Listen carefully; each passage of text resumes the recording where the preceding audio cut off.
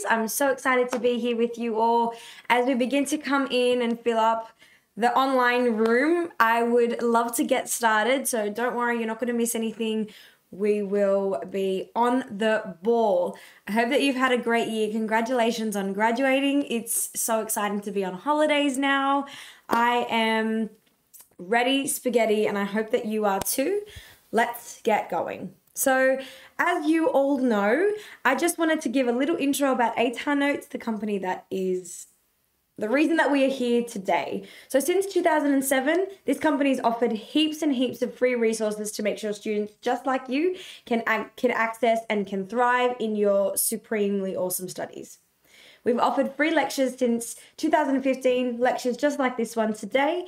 Special thanks to our unit partners for making these um, lectures possible and making sure that you check out their sessions during these lectures. The free lectures are in line with ATAR Notes' mission to help students as much as possible, and we have tons and tons of free resources for you. Some of these resources are up on the slide here. These are just some of the things that we offer. We have free notes, free videos, free guides from past students, and heaps more. All on our brand new website. We've just recently updated our website, and this is where you'll find pretty much everything under the sun that you'll need study wise. If you're not sure where to start, you can just search the function, just go onto Google and you can type in this website. There'll be a link at the top corner there, and you'll be able to just um, go through the search function and be able to navigate that website really easily. Check out our discussion.atarnotes.com for our brand new Q&A section, which is super epic if you ask me. And if you're looking for even more support, we've got you covered with all these resources here on the slide. We offer low-cost group and private tutoring, printed study guides, and online access to study resources with Ed Unlimited. I'll speak more about these later on, but for now, let's get into the lecture. So, as you all know, today is a revision lecture for HSC PE, and it is one of my favorite subjects. I love all my subjects. So, it is really exciting to be here with you all and revise on our wonderful content of PE. I am going to give a little intro slide. This is our agenda for the day to make sure that you can keep me on track too. I want to give you a little intro first, so I'm going to go through the who, what, when, where, how, where, all that sort of stuff in terms of today. I'm going to give you some time to put our PE brains onto paper. And I really want to get us in the headspace for HSC. And as much as that may be nerve wracking, I promise you are not alone and I'm here with you for this journey. We're going to have a little break, so I want to make sure that you can absorb what is being said already. You can, you know, get some water, go to the bathroom. That will be there too. And then at the end, I want to pass the microphone over to you and I want to be able to answer your questions. I want to see if you can practice what we've revised and go through and really test your own revision capacity. So today's going to be a little bit interesting. I've um, planned it a little bit differently than other PE lectures that I've hosted in the past, but that's okay. It's all going to be good and fun. So, as for our intro, and I've already started talking, but I want to make sure that you've got your phones with you. We're going to be using slido.com. So, please go onto Google and type in the slido.com. You can either type the code there to join our server, or you can scan the QR code right here on my screen. I would love for you to first answer this one question because I just want to get to know you a bit more. I'm sure that you may know of me, but that's okay. I will introduce myself in a second, the next slide, I'm sure. So I've just asked, what are you excited to go over in this lecture? I want to see and gauge how I can best help you with the time that we have. So as we begin to answer that, I'm going to keep moving along. And this is me. You've probably seen me before many times, but my name is Zafira Stelios. I graduated in 2020. Um, felt like a long time ago, but it's not. and I uh, loved all of my subjects supposed to be band six for PDHPE as well, but that's okay. we um, we're gonna we're gonna keep going. Um, I'm currently in my second year of law and international studies at UNSW, and I'm really really excited because I'm really excited for the future with um, HSC and with the world, and I think that it's really great that you are all here a part of this journey too. We've got some awesome um, responses coming through in the sense where people have told me a little bit of what they're excited for. Don't worry, we're going to cover as much of them as possible. I would love to just let you know, and you've probably already picked up on what I've been putting down. This lesson, or this lecture, sorry, my apologies with that one. this lecture today is going to go over some studying hacks, some tips and tricks. We're going to go over unpacking questions. We're going to really nail down how to approach the HSC and be able to smash it with flying colors. This lecture series is, well, this lecture right now is not going to be a predominant content heavy focused lecture. We're going to go through different practice questions from different content areas of both the cores health priorities and factors affecting performance, I want to make sure that we can at least grasp that 50% of that HSC. I know that all of the other option options that every student is studying is vastly different and I unfortunately don't have enough time to go through every single one of them in as much detail. So I would just like to preface that if you have any questions, content specific related, please feel free to ask them in the in the questions box on our Slido poll that you've got on your phones, and I will be trying my best to answer as many of them as possible. But just a heads up again, a reminder this is not going to be a content syllabus dot point by dot point lecture. We're going to go through some revision and some writing workshops like we had mentioned in our agenda. So, let's get started. I am ready and I hope that you're ready too. I had mentioned before that you will need a pen and paper. So I'll give you a couple of seconds to quickly grab those because it's going to be a very um, beneficial lecture to be here today. We know that the HSC is quite near, and I want to give you as much of an advantage as possible alongside me while I can be here and help you. So I hope by now that you've got your pens and your papers. It's so much better to practice uh, preparing for the HSC when you have physically when you have to physically write it in front of you. And I know some of my students know that that's my biggest um, excitement for tutoring. I'm like, yay, I love this idea of active recall. We're really trying to strengthen those neural pathways in our brain. So, that in order to be completely strengthened and solidified, we need to write them down onto paper. Okay, so there's going to be three parts to this writing workshop. I really want to go through, firstly, in our section A, I want to look into how to write an amazing response and how to set yourself up in a good way so that you can establish almost a checklist and get through the response cohesively, succinctly, and just easily. We want to make sure that it is just flow and it comes naturally to you. I want to break down some of the verbs that NESA directs us as HSC students to be able to answer so that we can ensure we understand the verb and then apply all of the specific verb related connections into our response so that that way it shows us that we've actually answered the entire question. Now, that might sound way more confusing than what it is, but I promise you already know way more than you think you do in relation to the verbs, and I cannot wait to share in this light of your intelligence. It's going to be wonderful. Then I want to go through some examples. So you can see here that in underneath that examples box, I've written P without examples like a burger without buns. And if you know me, you know that I love First of all, food and burgers. And second of all, my burger analogy. My burger writing analogy, we're going to go through a little bit later on. But it's really important that in order to really just hit your hit your response's head on its ham with a hammer. You need to include an example so that that way it's really just a valid strong super powerful awesome amazing response exactly like you awesome super powerful incredible all of these things. So there's going to be a little bit of a um like a, a flow chart that we're going to flow through. So there's building blocks that we will work on today and work through. And I make a big point of the we because I'm here together with you. So don't feel as though um, it's just you.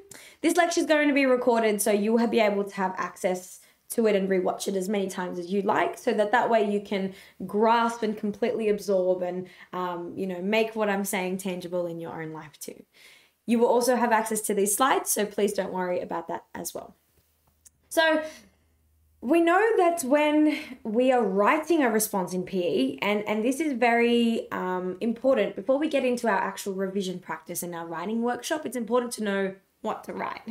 and you're probably thinking, duh, Zafira, I know how to write. I literally just graduated high school. Come on, we've done my trials. I've finished like 50% of my um, HSC so far, I really just know how to write, you know? And I'm like, yeah, I get you. I, I agree. Me too. but it's important that we can fine tune our writing so that that way we can maximize the last 50% of this HSC that's coming up now, right? So Intros are a great way to set up your response. Now, there are times and places where intro sentences or introductory sentences are necessary, but there are also times when you don't need them and you can tell when you don't need them. So, so don't worry, we're going to go through all of those points and you'll be uh, on point with that too. It's also really great because it shows the marker that you know exactly where the syllabus is being asked of and what you would need to include in your response. The directive verb is understood because you're like, hey, I can unpack exactly how these two connect or how this can be explained or how this can be compared. You're going to be talking a lot of um, it's almost like you know opening the doors to your response and it's just well lit this room and, and it's a very great celebration. Your confidence is high because you know that if you were to read back it would a make sense b be awesome and c it would really answer the question and hit that nail on the head. Um, so let's go through some examples to really see exactly what i'm saying. And if i'm going too fast you just let me know. Okay so we are going to go through a five marker question here for a uh, a dot point within factors affecting performance. I paused there because I have a question coming up in relation to the syllabus and I didn't want to tell you that answer before I gave you the question. So um, that was me stopping myself there. This question here asks us to assess the characteristics of a skilled performer. Now, I want you to think about where in the syllabus exactly which focus question, what dot point, think about uh, the syllabus and I want you to scan the QR code here because I would love to ask you where exactly in the syllabus is this question referring to? So this is going to be a little bit fun um, throughout our lecture today. I've got a couple of our Slido polls ready and buzzing. So I am excited to see all of your engagement with that too. I'll wait a little bit as those responses begin to flow through and, you know, all the students become so much more closer to me in our online space and we can all be together. So, this focus question is derivative from the last point of our factors affecting performance syllabus. We are going through, um, um we can see that that is where it was you I hopefully you got that response too. Now, for an introductory sentence for this question here, it's a 5 marker. That's a big point to look out for. I would I would say something like a skilled performer often demonstrates characteristics such as kinesthetic sense, anticipation, consistency, and technique. I use the acronym CAT. You might use a different acronym, but it is acronyms as a top tip are a fantastic way to um, go over your content through the syllabus through pe and really just solidify your knowledge and ensure that hey you tick all your boxes because you know all of those acronyms and and the words underneath that mnemonic. So um hopefully you can begin to see the purpose of this sentence here and you can understand yeah actually it does almost establish my response. Gives me the room and the framework so that i can continue writing whilst answering the question in the first sentence of these are the four um, characteristics of a skilled performer and my response will further dive into them and i'll have an example. It's almost what you're telling the marker. So let's go through another response what are the responsibilities of each of the three levels of government for the delivery of health services in Australia? Now, you would have noticed, and hopefully you would have picked up, that I am now onto our health priorities um, focus question, uh, call, sorry, and it is good because the constant bouncing between factors and health priorities is really going to test how much you know. And I just wanted to add a little bit of spice and test how much you know today. Um, it is going to be about how much you have revised and we'll go through it together. Don't feel pressured or anything like that or overwhelmed. It's going to be a lot more easier than you think.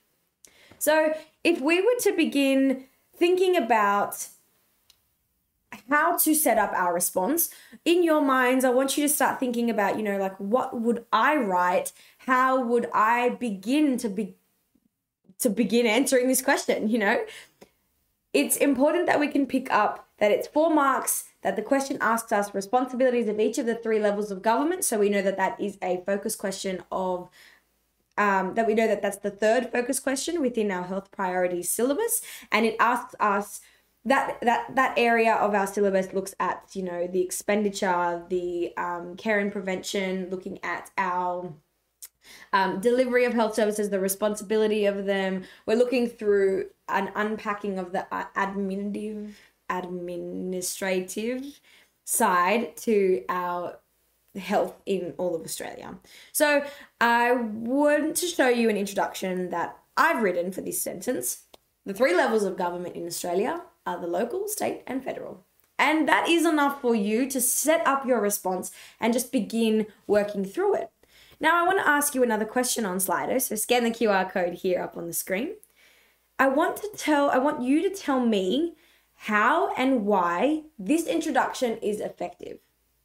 I'll give you a little bit of time to think about that because I want to grasp the trains of thought that are rolling through your brain at the moment now got some answers coming through. Some students are saying that it is just easy to read. Um, we've got some students saying that it is um, short, sharp, straight to the point. Exactly. And I hope that you are able to see the purpose of this introductory sentence. And I don't want to feel, uh, I don't want you to feel confused or um, unsure, overwhelmed because you have an extra responsibility of an introductory sentence. That's not the case. This is essentially breaking down your response into doable, practical sentences that we can really establish and make them purposeful. This is important because we can guarantee that we will receive marks in every sentence or marks on every line delve into what wasn't explicit, addresses and identifies components of the question, um, like a subheading. Yes, it states an opening, identifies that you'll be talking about. Um, it's short knowledge. It's short because it's a four marker. Oh my goodness, this is fantastic. I'm so excited to be in the presence of all you intelligent brainiacs with PE. It's fantastic.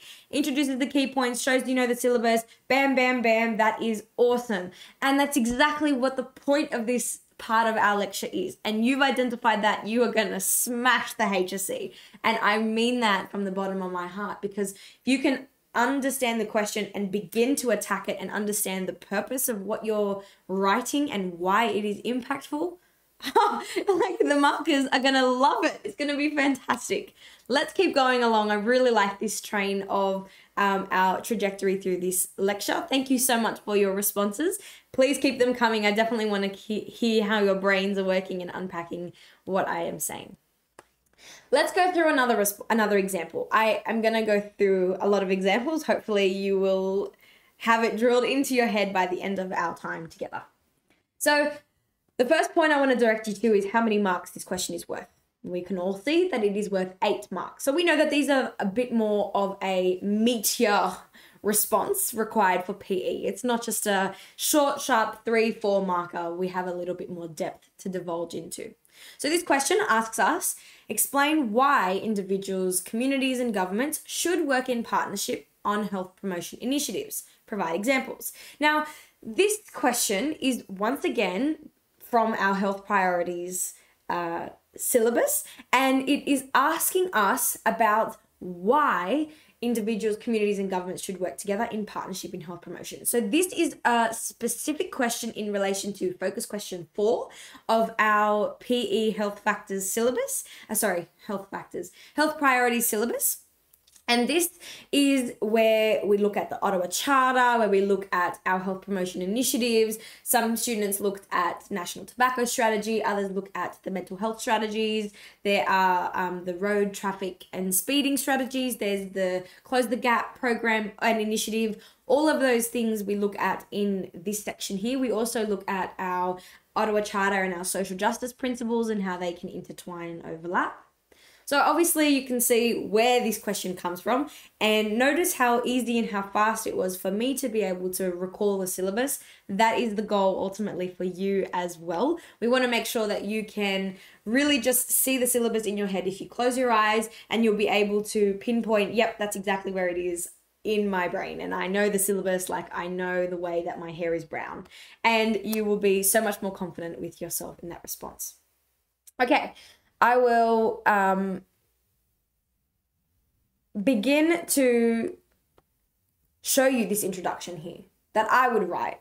Individuals, communities, and governments should work in partnership on health promotion initiatives like the Slip Slop Slap program. So I've already mentioned here almost like a judgment sentence that they should work together because here in the question it asks me why they should. so I'm essentially saying oh, they need to and I will go into why they need to further in my response. So I hope that you can begin to see that. Now, I I want to grab your phone out again and scan this QR code because I have another question for you. My question asks Imagine you are completing the rest of this sentence. Think about why these levels of government should work together. What are the benefits of them working together?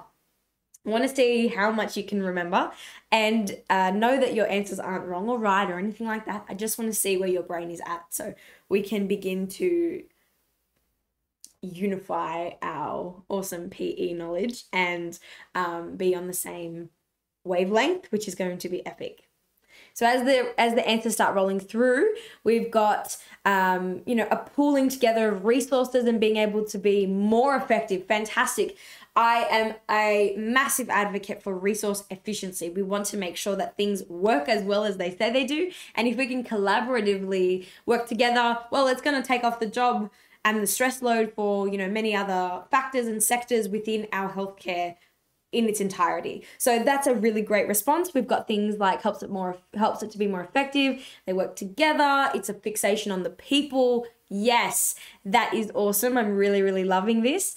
Um, they target different people, so they should all work together because they have different reaches um, and different different capacities. We know that um, individuals can only um, become role models for themselves and, and become educated and really understand what health is and how to be more protective in their behaviors with their lifestyle and all these types of things and communities can collaboratively work together to create safe spaces to have um, you know um, meetings and, and, and groups and, and, and fun runs and all these things that we can do together to work on our health as a whole. And governments have the power to provide these health these health facilities and, and fund them and make sure that we have access to them regularly and, and that they're clean and that we can um, you know use them for free if need be and, and have them for lifelong purposes. So this is fantastic. We've even got some more students here. Each um, funding can be accurately distributed. Yay! This is awesome. I'm so proud of everyone. This is great.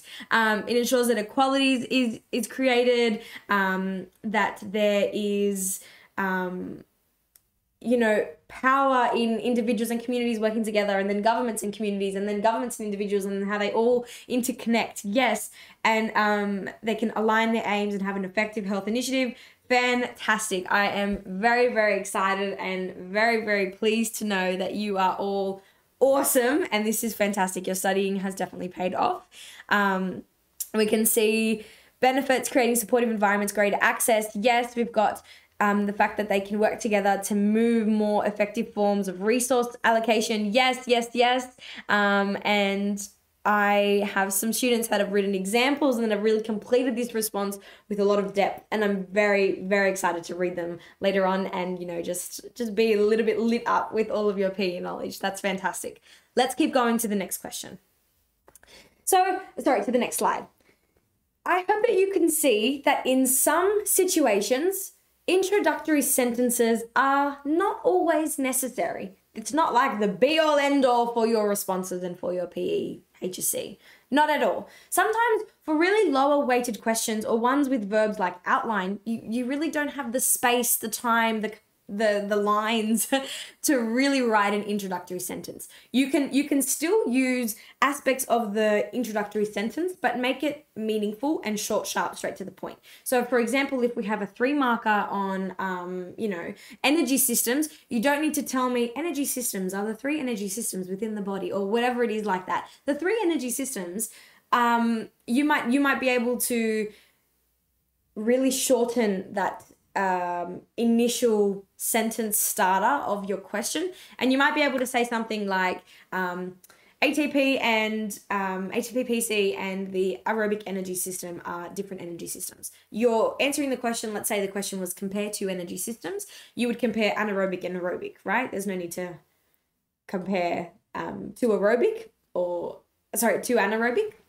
So you, you, begin to see that sometimes introductory sentences, while they're fantastic, they can be shortened. They're always um, there implicitly, but they can be modified to fit the question and the marks. Sometimes for higher order questions, it is effective. Like our past examples, we could see they're great in establishing your response. They're great at almost setting out what you're going to talk about in in your answer so that the marker knows okay this is what i'm looking for. It's like an umbrella that really just um you know over like um encapsulates that response and it, it allows for the response to flow and to be immerseful.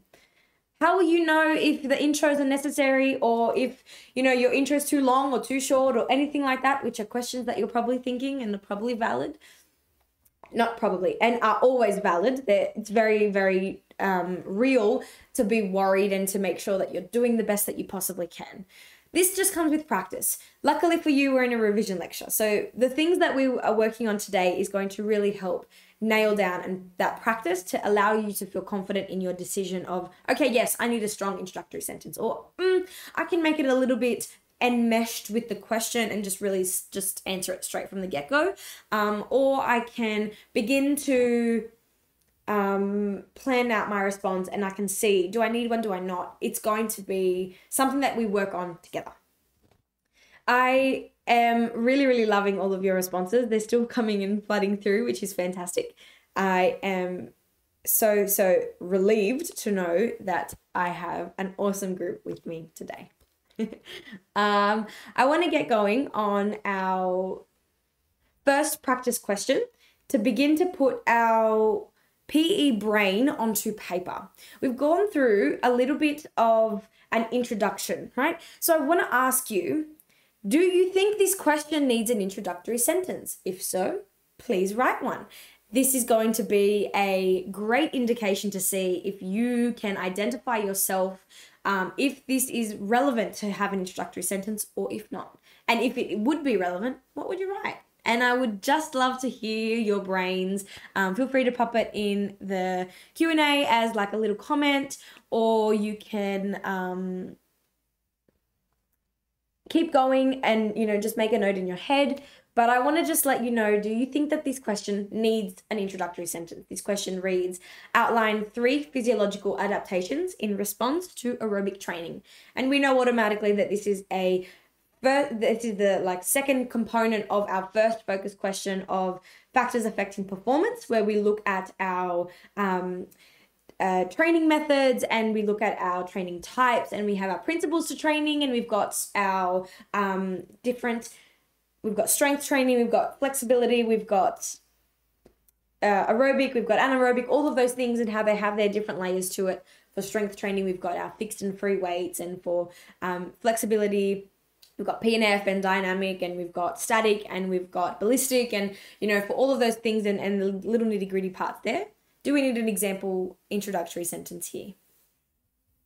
I'll let you go with that one. Next question. We're going to really just solidify our knowledge and ham home this idea of introductory sentences. This question asks us to describe the different recovery strategies used by athletes to improve their performance.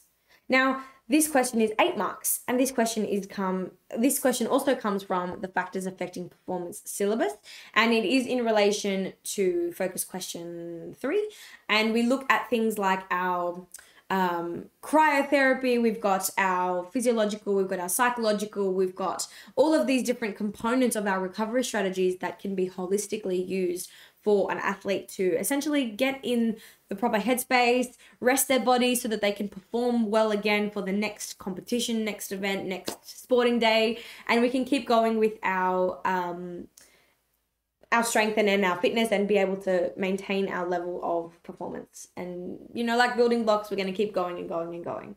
So, do you think this question needs a introduction? Um, what would you write? What would your introductory sentence be? Would it be quite long, quite short? Would it be wordy? Would you list every single possible thing that the recovery strategies do? Or would you just essentially, you know, mention them? I hope that you can begin to see that this is um, important to know and to do and to be able to identify. And I hope that with our introductory practices, uh, as a whole and individually with yourself now you can you can really begin to put those puzzle pieces together and it's starting to light up in your brain hopefully that if you think this question needs an introductory sentence you would have finished it by now let's go on to our next question describe two action areas of the ottawa charter so this we know is a direct focus question for question of our health priorities in Australia, and it is really important. I have a little acronym for Ottawa Charter, and I know that we said that this is not going to be revision content based, but I love this acronym. And it's for, we know that there are five action areas of the Ottawa Charter. So, this acronym that I've created, a little bit not creative, but anyway, it's DIPSI and it's like oh well i'm going to go through all the areas. Developing personal skills we're going through creating supportive environments strengthening community action reorienting health services and developing public healthy public policy. Dipsy sab because if you put all of the action areas together in a word it makes dipsy sab and it's a really long acronym but it's pronounced like dips like chips and dips dips e sab so maybe if you can remember that that'll be good if you forget you know three or or one of that action area of the Ottawa Charter, at least you'll know you've got all five. Dipsy sub. So if you think this question needs an introductory sentence, what would it be? What would you write?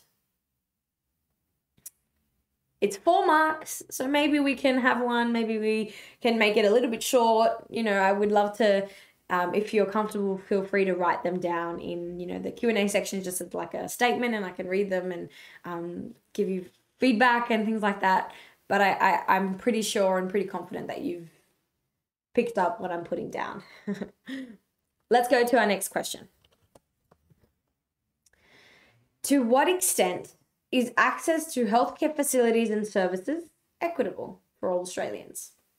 Now, this question once again comes from our health priorities syllabus, and we are looking now at our focus question three of health priorities on the right hand side of the syllabus. It asks us how actual how actually equitable and accessible is our healthcare system because in this section of our focus question we're looking through our um, our new treatments and, and, and early diagnostic tools and stuff like that that can be quite expensive for some people in Australia or for some groups in Australia. So does that mean it's actually fair and equal if if if it doesn't actually reach people that it was supposed to help? How how do they access that? Or we know that there are, for example, um, a lot less services and facilities in rural areas and regional areas of Australia, and the lack of access to those adequate healthcare facilities can be quite detrimental, life threatening sometimes. We know that, for example, um, if um, ambulance responses and stuff like that have a longer period of time, not only to travel, but of, of time to take because maybe um, it is quite far away. Maybe the roads aren't great quality and then they aren't able to access these people and that need help. Or, yes, we've got our Royal Flying Doctor Service and we've got all these things, but how actually equitable, equitable is it? So this question is eight marks. And we've got a verb here that's pretty powerful that we're going to go into in a second. To what extent? Now, this means that we would need to make a judgment. We would need to say, yeah, it does, but it also doesn't. To what extent questions ask you how much. So it's saying how much is um, Australia's healthcare and facilities and whatever equitable for all Australians. And our response needs to be this much. So it goes on to by saying, um, you know, our our healthcare and our facilities and our services are inequitable, are significantly lacking in access, or they're fantastic. And you know everyone has access to them. And it's a it's a it's a well distributed um, disseminated facility service that australia offers that makes it a crux. It makes it you know really like distinguished in all of the healthcare systems in australia or in in the world. What is your judgment? Do you think that this question needs a practice uh, needs an introductory statement? If so what would it be I hope that you could pick up that pattern of what um, of these practice questions. I know that we had four, two from each core, but there were some questions where mm, you might not necessarily need an introductory sentence, but there are some that you do. I hope that you can begin to see this is how you practice that how you know section of our introductory slide that we looked at prior. So I hope that you can understand what is going through my head now and going through the slides as we see them together. Let's keep going through because we are zooming in our lecture and I'm very excited to keep going. So I mentioned that introduction sentences need to address the question. Now, in order to address the question, we have to look at our directive verb. And there are millions of verbs that NESA likes to sprinkle in our questions to, you know, spice up the HSC. And there are some verbs that can be quite confusing, or some verbs that, you know, really just we see and we we we familiar with, but we don't actually know how to, you know, um, nail that question and really just tick that verb. You probably may receive or may have known people that received, you know, like question marks in their responses in their exams or things like that or it's like it doesn't really relate to the question or you know um, it's a bit of waffling here you're going on a bit of a tangent. Our directive verbs so our outline our to what extent our describe our explain examine assess um, justify compare all of the adjectives that NESA uses really are just there to redirect our brains and guide us in the right direction almost like a steering point.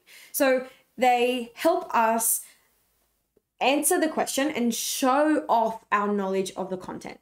But we have to do that through those directive verbs. So, how we understand that direction will determine our answer and then our mark. Now, that may seem a bit pressuring and a bit like, whoa, it's a lot for one verb, but that's okay. We're going to go through it and it'll make a lot more sense in a second. Uh, I have a, a really easy to follow um, breakdown of these verbs and it, it's it makes it make sense. This really helped me when i was in your position so i want to do exactly the same for you. So when you approach a question and you notice the directive verb i'm going to take you through like my three step process of how to approach a question and what i look for. I've started to drop those seedlings here and there as we go but i i will make that more clear coming up. So our directive verbs tell us exactly what we need to do to answer the question if, for example, it is an explain question, we need to show the marker that there's a relationship between the com- concepts in the question, that there's an Im- there's a cause and an effect. We need to show that one directly impacts the other, and we need to show how they are intertwined. They're easy to identify. We know what the verbs look like. So we can we can really pinpoint and show the marker, hey, you can't trick me today. I've got this. I know my directive verbs. I went to the PE lecture in September. and our buzzwords come naturally. The buzzwords are things that connect the directive verb and the response together. So, like I mentioned for the explain example, our buzzwords are your cause and your effect. So, all those relational connective words come really easily and naturally the more that you see these directive verbs and pinpoint exactly what they're asking of you. Let's break these down. NESA you just can't trick us. Like, seriously. You can try, but you know, we're just far ahead of you. when it comes to verbs like outline, this is something that we saw in our prior introductory practice questions where there was an outline question. And maybe you might feel, mm, I don't actually need an introductory sentence for an outline question. Fantastic. Outline essentially means sketch in general terms. So for your response, that would be list and identify not in dot points. in sentences, in prose, but it would be really great so that you can show the marker this is exactly what it is. Describe. Describe asks you to show the characteristics and features of. Essentially, you need to paint a picture to the marker. You need to, you need to, you know, um, in English, how we say show not uh, show not tell, same sort of vibe. You don't need to go into a lot more imagery and, and anything like that where you are meshing English and PE together. That's not what I'm trying to say, and I hope I haven't confused you. But essentially, describe means that you you're creating a, a, you're setting a scene you're you're establishing the response and you're connecting it to the content so we saw in our prior um, practice questions for the introductory section just before we had things like describe the two feature uh, sorry two action areas of ottawa charter so that would mean let's say for example i'm going to go through reorienting health services as one of my action areas and developing public health policy so reorienting health services means for me to describe it, I need to, sh- well, not I need to, but the healthcare is shifted from a curative approach to a preventative approach. So that means, well, the healthcare in Australia is not just a reaction right? It's not designed to only cure what has happened and the problems that occur later on in people's lives, for example. It is more so focused on how can we prevent, how can we implement education strategies, how can we showcase people to, you know, be influenced and be, um, positively role modeled to have positive health behaviors in their life and to manage their stress and to be able to cope with um, you know life and what happens and and have those foundations set up in place of nutrition and of movement and of um, social connections to be able to deal with our stress and things like that so that it's not so um, impactful later on in our lives. How can we prevent that?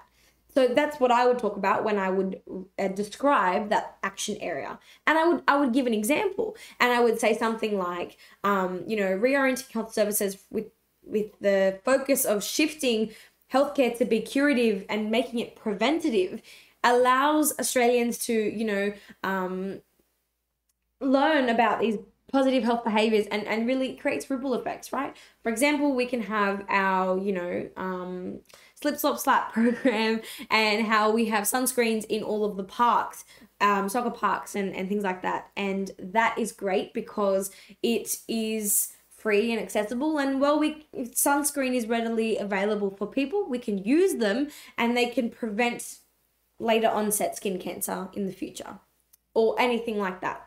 And then for pub- developing public health policy you would go and say something similar. I hope that that makes sense for describe.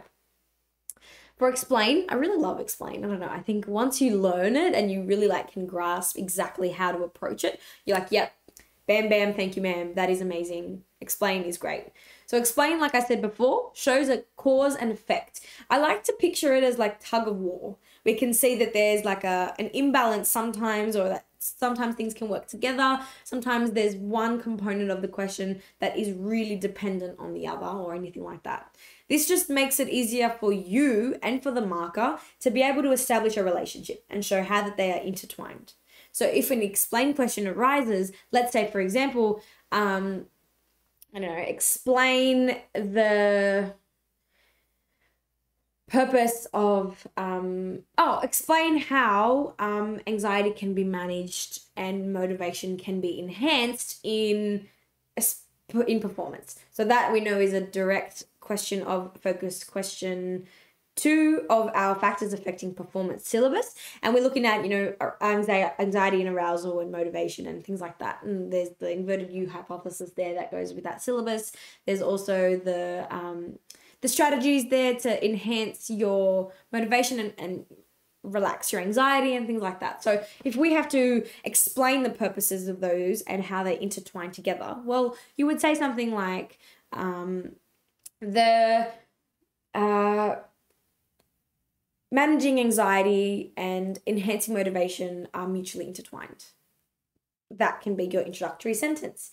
And then you can start off by saying, um, in order to manage an athlete's anxiety, they need to make sure that they are um, breathing properly and they can be concentrating and focused and they can um, do all of these mental rehearsal tra- strategies and tactics that can manage their anxiety state or trait so as to better enhance their motivation and performance for the game at play. It goes to show me as a marker that in this tug of war of anxiety and, and, motivation, we can have less anxiety, more motivation. That's sort of how that would work. So we need to show that relationship and be quite clear in that regard. Now, here we've got to what extent. Now, to what extent is exactly like what I mentioned before. To what extent is the healthcare in Australia equitable or access to healthcare equitable? To what extent asks you to make a judgment. To what extent means you have to tell me positives, negatives, how good, how bad. You need to you need to be able to show me both points. Now, um, if any students do legal studies, you will know what this question approaches and and how to approach it. Same sort of con, um, wavelength and thought process when it comes to PE.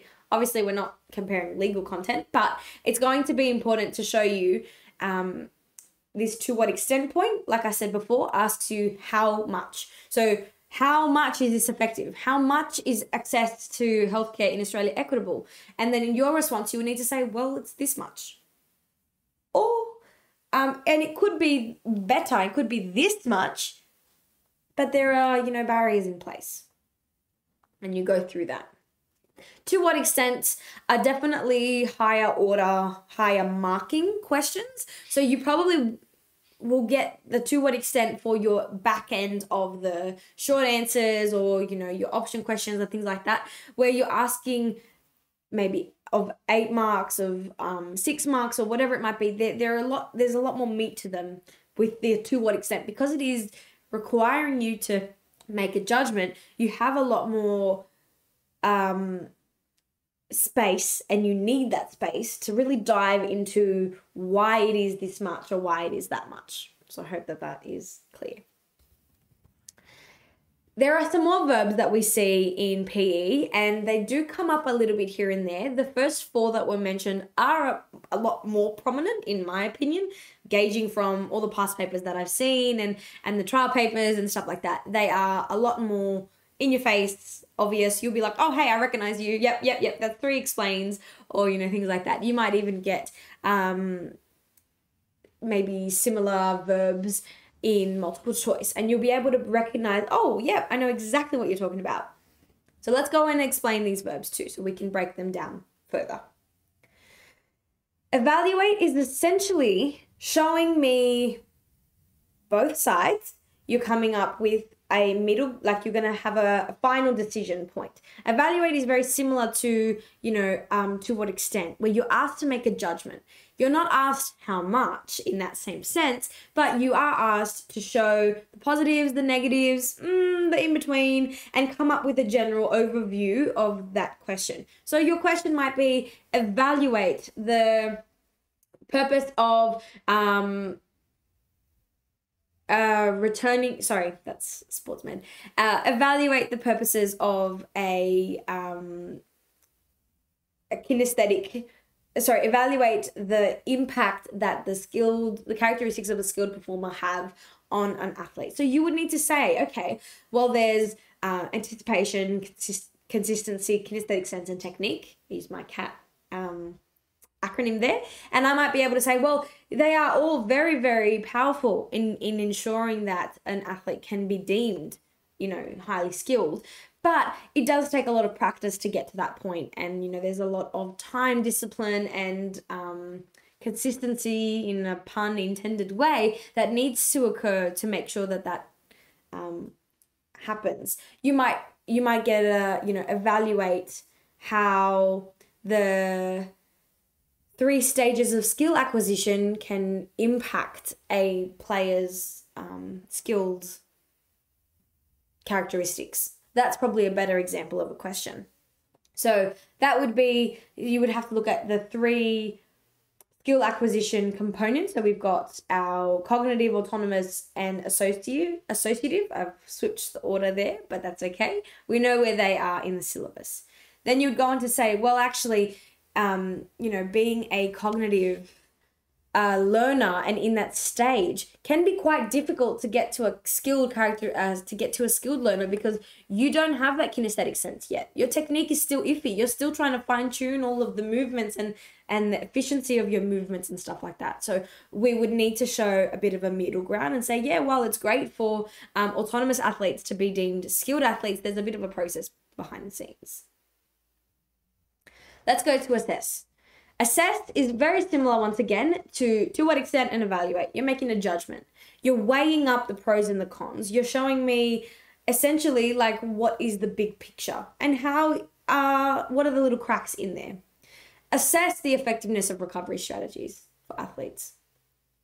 Um, assess the effectiveness of um, the S triple PC criteria for um, you know, establishing healthcare initiatives. S triple PC criteria is things like your social justice principles in our health priorities.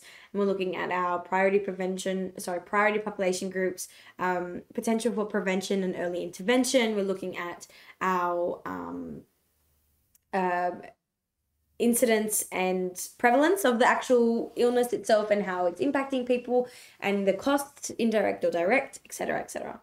So assess essentially means weighing up the pros and cons and showing me, yeah, this is pretty good, but hey, this needs a bit of work. Let's move on to justify. Prove it, essentially. The question is asking, the question is basically justify is saying, this is what it is. Show me that you know this is what it is.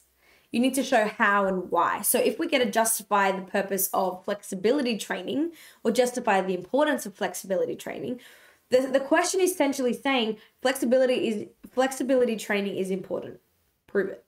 And you would need to go on and say flexibility training is essential because it ensures you know adequate range of motion that there that is healthy it ensures that there's mobility it's reducing the um, potential for injuries it's doing all of these things and that is why we have flexibility training why it is so important so you're you're really being asked to prove it and compare, we see often.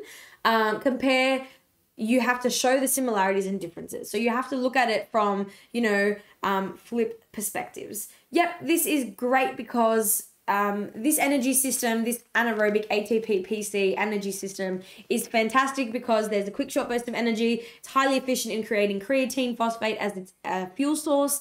Um, it does not last very long in its duration. It is quite a short lived um, energy system in comparison to our aerobic energy system, which does last for a very long time and can take up to 24 hours to 48 hours of recovery to, you know, replenish energy stores. It does also use um, it does not use the aerobic energy system does not use creatine phosphate as its fuel source. Rather, it uses carbohydrates and fats as its fuel source. So you can show the differences and the similarities. You're really just making those observations between the two. They usually ask a compare question where you can compare the content for. So, for example, compare, you know, the um, uh, the recovery strategies and their differences, right? So we can see that we can actually make some comparisons. For example, you know, like cryotherapy is very different to psych, um, like the recovery strategy, the physiological one about cooling down and drinking water. Yes, there's a connection to water with cryotherapy, but that has to do with ice and it's different. Um, you know, so things like that you can compare. I hope that, that is clear as well. Let's go on to our examples. This is really important and it acts as a very um, illuminating point in our responses, in our lectures and uh, sorry in our HSC and it really shows the marker that yep we are bang on with the question. We know the verb. We've got our introductory sentence and we've got our jazz of our example to really just hone it in and say yep we know that what we're saying is true because look at my example it backs it up so examples are great. They need to be specific. It's not so much beneficial to have an example that is um, like a football player. Like a football player, what? What you know, things like that, and and it really showcases to the marker that you know your content bang on, um, and it's easy, easy, easy to integrate because you just whack it on to your sentence. It adds like wow factors to your response. So it, it gives you room for marks to be gained and it makes the response complete. We want a whole wonderful, powerful response. So let's dive into this further. I'm just having some technical difficulties with my Slido on my end, but that's okay. We will move along and be awesome and show up regardless. So, for example, pun intended, I have a question here that asks you explain what progressive overload is and why it is used. Now, this question is fantastic. I happen to love progressive overload. I go to the gym and I use it in my daily life, and I definitely see it having a, a big impact in my performance. That's the pun as well. Um, it's the factors affecting performance. Here we're looking at our uh, principles of training. I use the acronym RSVP to weddings. So we've got things like reversibility, specificity, variety, progressive overload, training thresholds, and warm up and cool down. So that is something that helps me. If that helps you, feel free to take that too. So I want to ask you, um, you know, we, we would have, you know, like an introductory sentence and a potential example that we could add on here. But I want to ask you, what is an example that you could use? So I have popped the Slido poll up and there'll be a QR code here. Please feel free to scan the code and I would love to write down your example. My example would be Progressive overload is the act of increasing workload over successive training sessions or continual training sessions. For example, adding one kilo to a squat every time an athlete goes to a gym. Notice how that example is specific in the sense that my progressive overload is strength focused. We know that there's resistance and aerobic on the right hand side of that syllabus, how we have to look at our um, principles to training and why they can, and sorry, not why, how they can be applied to our different types of um, sport, whether it be cardio or strength. That's how I sort of see it. So, yeah, what would your example be? Example could be um, my brother plays soccer, and he, so his example might be, um, you know, being able to, I don't know, run um, one kilometer more each week at training. Something like that to be able to build his aerobic performance and capacity when he's playing on his games. What would your example be?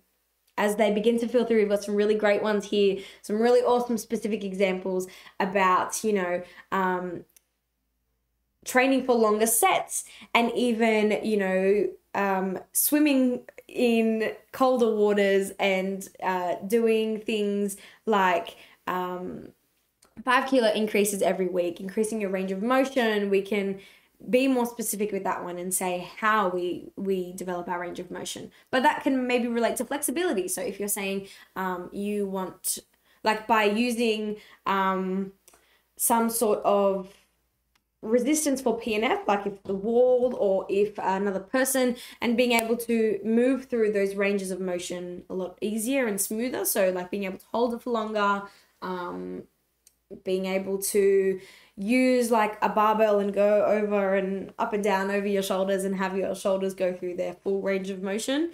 Um, increasing the intensity increasing the run distance increasing my time. Yes yes yes increasing your speed on the treadmill. Um, you know one speed increase per tr- session that you train. You can have an incline increase, so that can make it harder for you, and, and doing things like that to make it a little bit more difficult so that your body can adapt to the changes and to the um, the training that is occurring so as to be stronger and to have all of these impacts.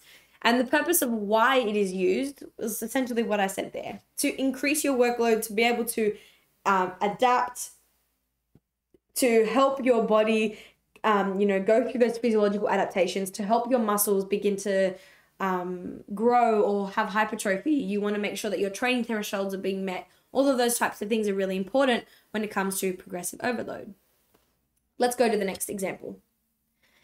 This question asks us to assess the appropriateness of supplementation for athletes.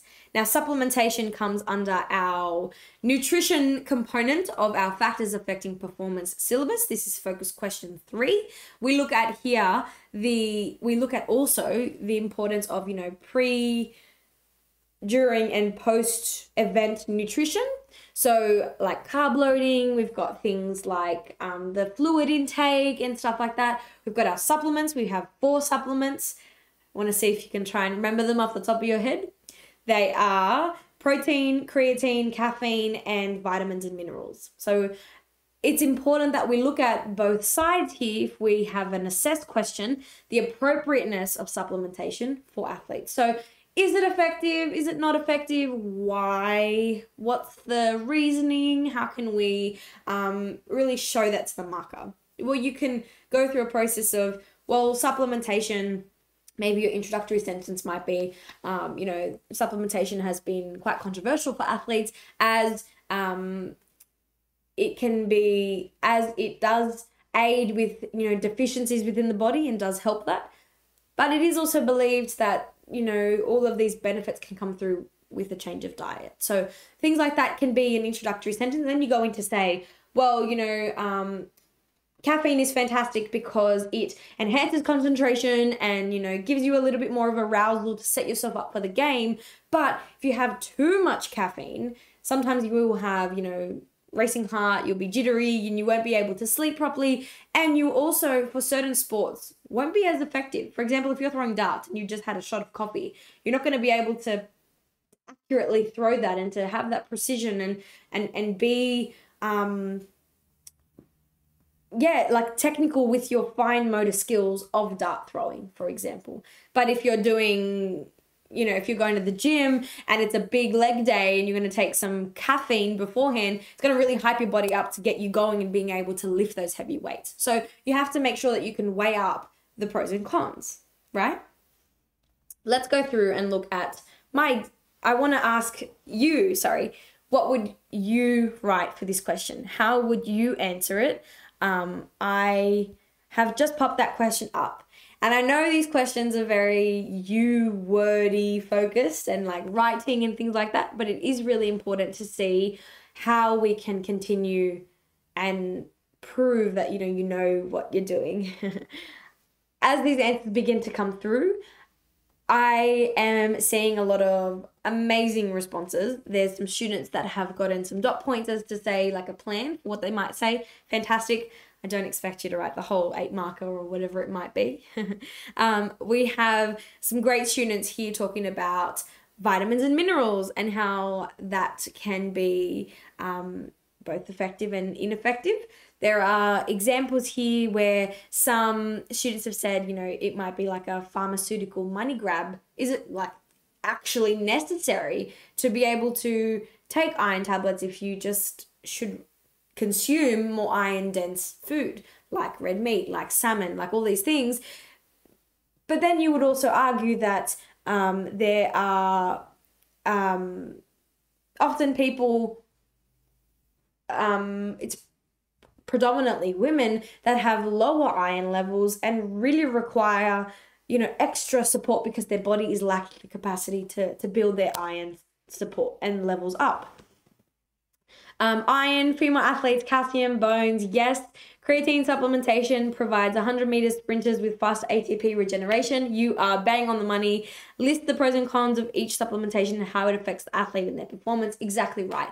You are all approaching this question really, really well, and I'm so, so excited to see your HSC results and to celebrate all that with you because you really grasp what is um, being spoken about today. You're all sponges and absorbing what I'm saying, which is fantastic. We've got a student who's written, um, it can aid athletes, but it can be detrimental. Great judgment point to, you know, set up your response. Iron tablets are appropriate for women who are iron deficient due to their menstrual cycle. Is fantastic because you're explaining me, you're explaining to me the whole picture. You're showing the pros and the cons, and you're weighing up. Well, in certain circumstances, that might not be um, appropriate to you know just eat more red meat or whatever it might be for iron tablet for iron deficiencies um, fantastic. I'm really, really obsessed with all of your responses. No one's written a protein response yet, but that's okay. We can um, keep going.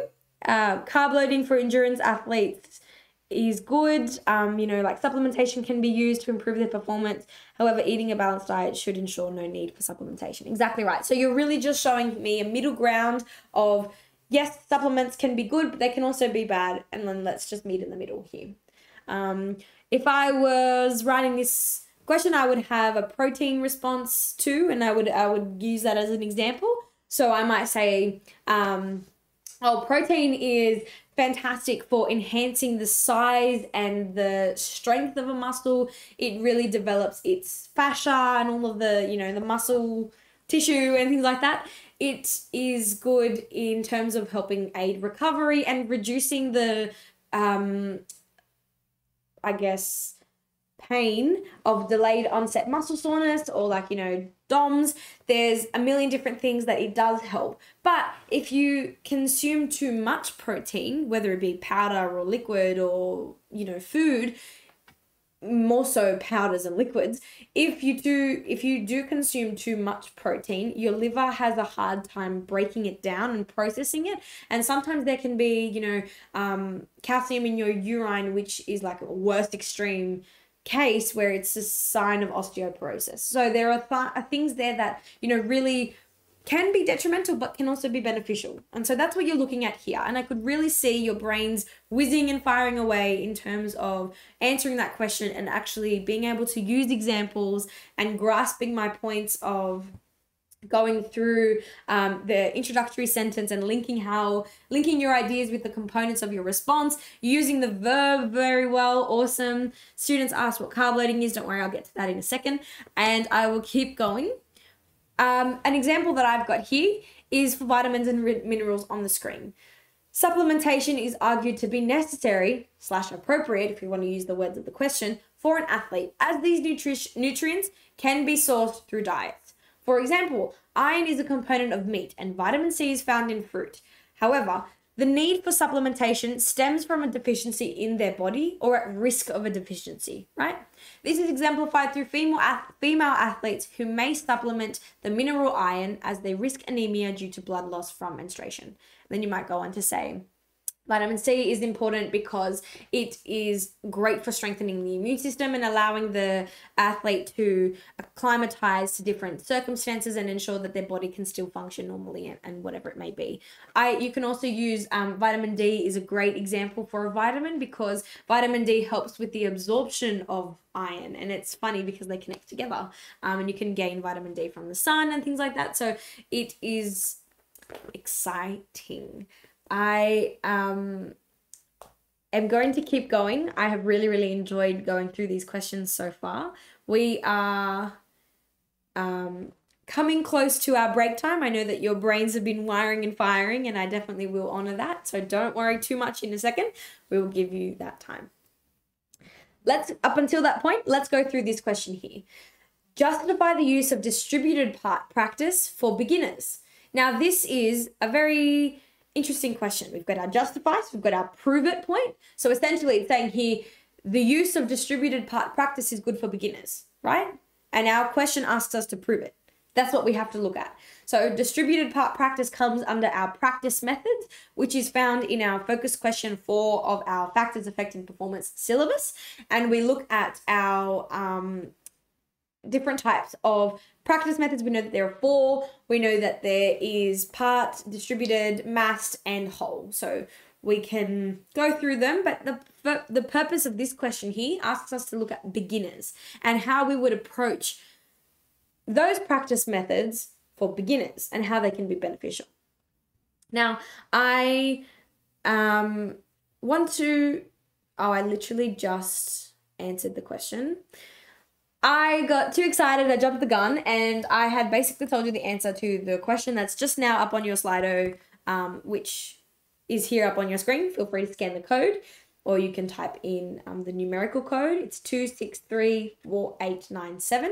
What are the methods of practice? And, and you know, um, how many are there? And I literally just told you that. So testing your short-term memory, active recall, what did I just say? and then pop them in the there in the in the responses we've got some fantastic students who have wonderful great ears that can pick up what I'm saying. So you've written that all down, um, and it's fantastic to see that you are listening in that sense. Um, keep the answers coming. I know that I sort of said them, and I know that you know what the answers are, but it is great to know that uh, we're all on the same page. This is an example that I would use for this question. Well, as my introductory components of these questions, as it is a justify, justify is more so seen in terms of um, higher weighted questions, so like six, eight, seven, etc. I would try to define it and explain what it is that I'm talking about to be able to prove it. So, part practice is the act of breaking down the skill into smaller sections to practice. Distributed practice is where the session is broken down into small periods of work and longer periods of rest. For example, breaking down a layup in basketball into a dribbling section, a jumping section, and a shooting section will be very effective for beginners. It is important that they are able to perform all individual parts of this serial skill well, and distributed part practice is very beneficial. So you can see here, I did, I, I basically said, this is what part practice and distributed practice is.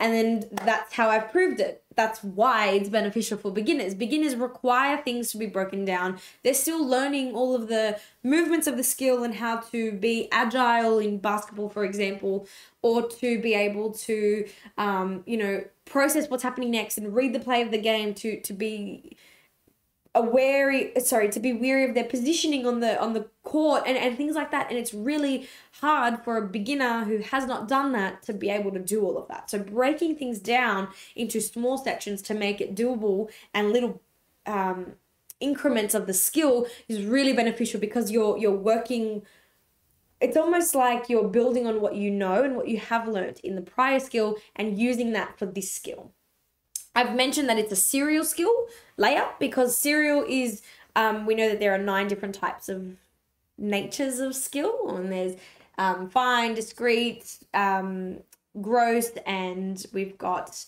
uh, external, internally paced, we've got um, things like dis- discrete, we've got continuous, we've got all these different types of skills.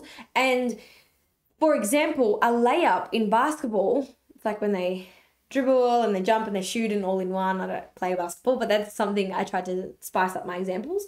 Um, you could even say something like, you know, a penalty shot in soccer or a, um, you know, shooting in netball or um, even like uh, a box jump in um, the gym or I don't know, plyometrics and things like that. So it's always good to use your own examples that you can relate to or that you know really well. This is just something that I've added to spice it up and maybe connect to some of you in the audience.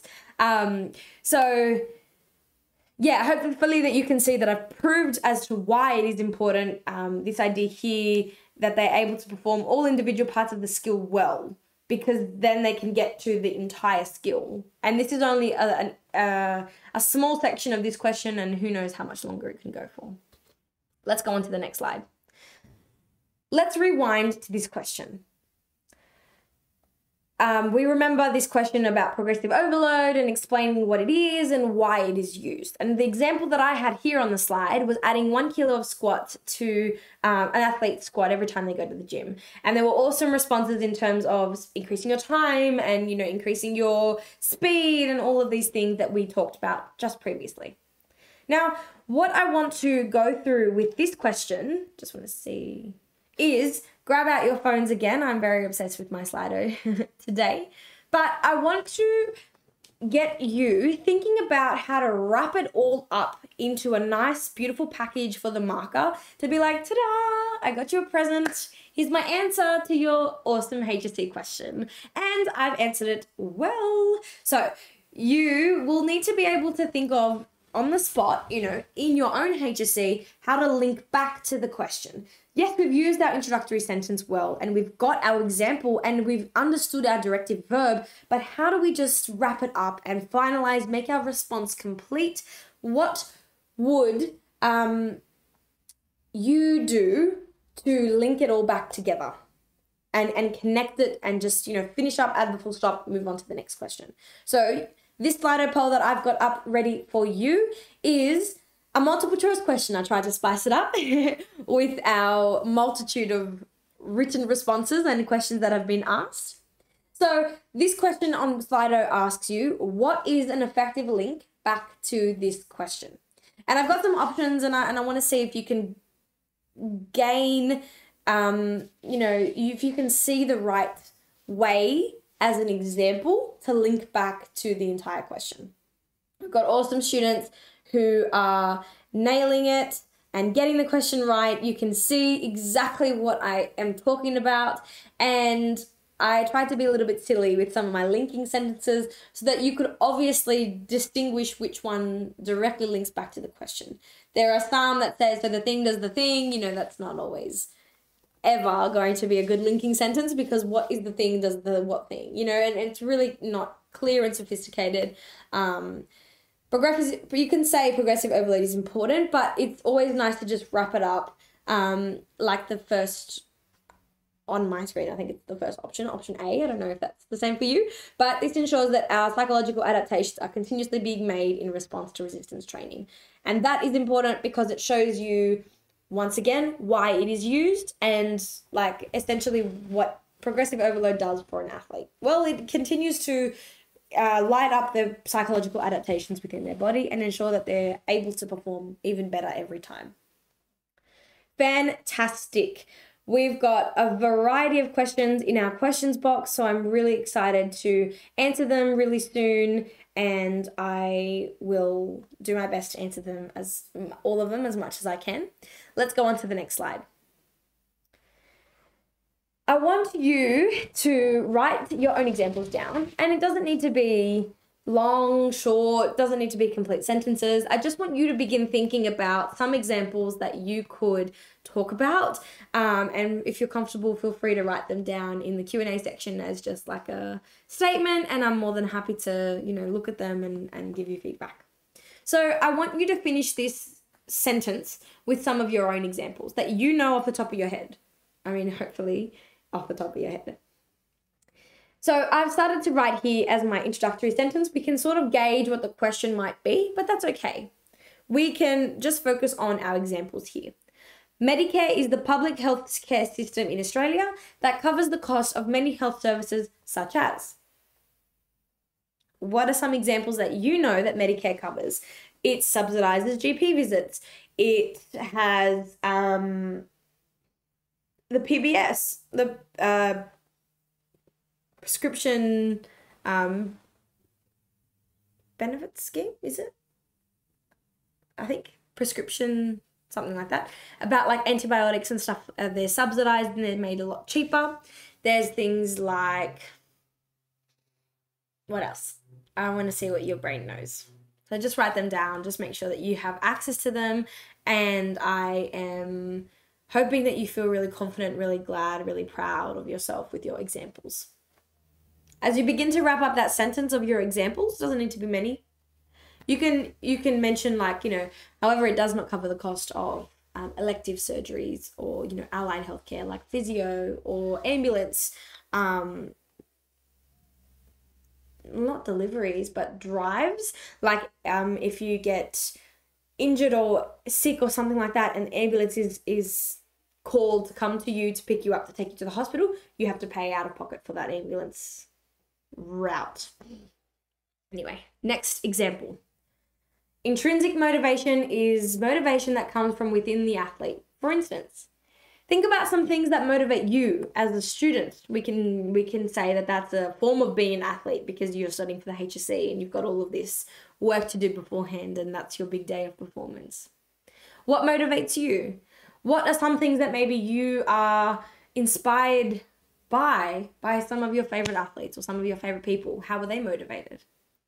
Intrinsically. I know for me, for example, um, I am intrinsically motivated by my consistency. I work hard, I can do this, I am I'm gonna be good, and every time I'm gonna get better. And and that's okay.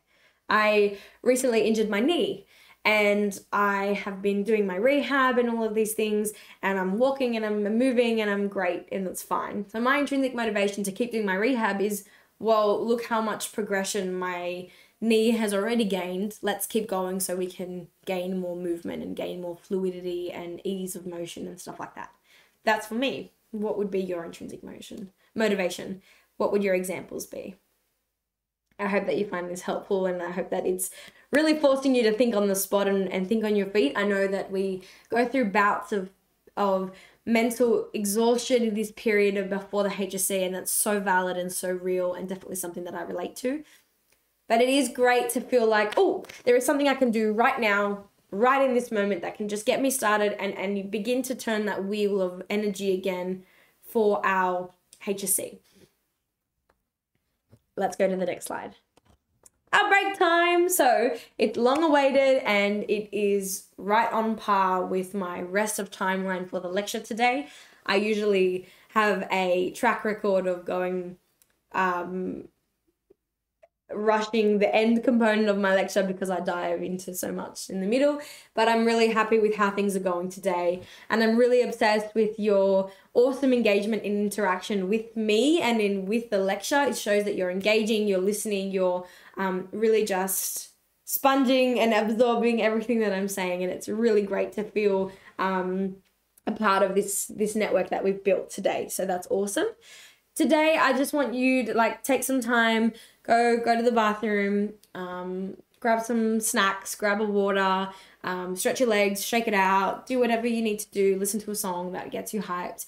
This is your break time, and I want to honor that for you. You definitely have worked very hard in this first period of our lecture today, and I'm very excited to see um, all of your hard work continue in our second component. There are some things I just want to mention um, in relation to our break, and I uh, previously at the beginning of our lecture touched on them, but I want to dive into them a little bit more. They're my chance to swim. So I um, just want to once again thank all of our university sponsors for allowing this to happen. Um, I'm going to go through some of our points on the bottom left hand side there about ETA Limited, Shoot Smart. Like I mentioned, this is where it's going to get clear and easy to understand. Um, so, you know, everything that you, you, sorry, sorry. Um, we know we know as part of ATAR Notes and Shoot Smart that there is tutoring available for students just like yourself, where it's group tutoring and also one-on-one tutoring. So this one-on-one tutoring is performed online. Sessions are in depth and go for 60 minutes. Sessions are weekly or however often you would like, and you pay as you go. Um, it's really flexible and then it's really easy to uh, add into your daily life, and I really find that it is helpful from the students that I have. Once again, all of our tutors like myself, are high achieving grads that know their subjects inside out. For example, I tutor English, Standard, Advanced, and Extension, Legal Studies, PE, Studies of Religion 1 and 2. So they are my areas of expertise and I hope to see you sometime soon and meet you in person before your HSC if you need. Um, if you want that extra push, get ready for exams, or just need help with your studies and motivation, definitely find out more about our private tutoring by booking a quick info call with us, and you'll be able to get the inside scoop and, and make that booking, which is super exciting. We also have something called ETA Unlimited, which is something that you may have heard of, may have used, maybe an avid love of lover of, and it's literally where you can access every single ATAR Notes book all online in one place. It's a little bit like Netflix, but for study guides. So it's very cool and very vibey. Um, it's every single ATAR Notes title plus other resources. It's very just comprehensive, but unlike Netflix, these things don't go away each month and you know, it's all there for you. It's great value for a small monthly subscription fee and you can test it out free for the next 21 days or the next 3 weeks by using my unique code Zafira HSC. Z A F I R A. And just enter the code when you're subscribing. Make sure you check it out. 21 days free. You've got nothing to lose. It will help you massively for your upcoming exams, and you can access so much free content, which is so exciting. And of course, we also have our study guides printed in physical copies too. So all of our study guides are written by elite graduates who know their subjects inside out and they're full of tips and tricks to help you really quickly understand the content and maximize your marks for your upcoming exams. So we are offering a fantastic discount on all of our products. Please use this discount here to get 15% off of your purchases. It's 15 SEP. Uh, and use that code and, and you'll be able to pop that in the checkout. The link's in the sidebar there and it'll be really easy for you to show yourself and anything that you may be thinking about that you have got your HSC in the bag. I still want to use this time keep being on your break. I still want to I want to use this time to answer some questions. So we've got some questions here. Um, great question from a student about the different types of directive verbs and the questions. How do we not confuse the verbs assess and compare? It seems like there's a thin line that differs that differs the two. Fantastic question. And you know what? Great observation. Yes. Assess comes through our brains of weighing up pros and cons, good and bad. And we have to say, you know, this is one aspect of this um, area of focus. This is another. Compare is different because you're showing similarities and differences. So you're showing what they have in common, but what they also lack significantly. And the difference between the two is compare is more so used for a lower mark response like three, four, five, um, and assess is more predominantly used at the back end, six, seven, eight, and it's it's a higher order question. You've got a lot more um, room in your assess question to dive into the nittier grittier. As well, you would need to come up with like a final point of evaluation, right? So for assess, you're saying this is both sides, and this is why it is effective.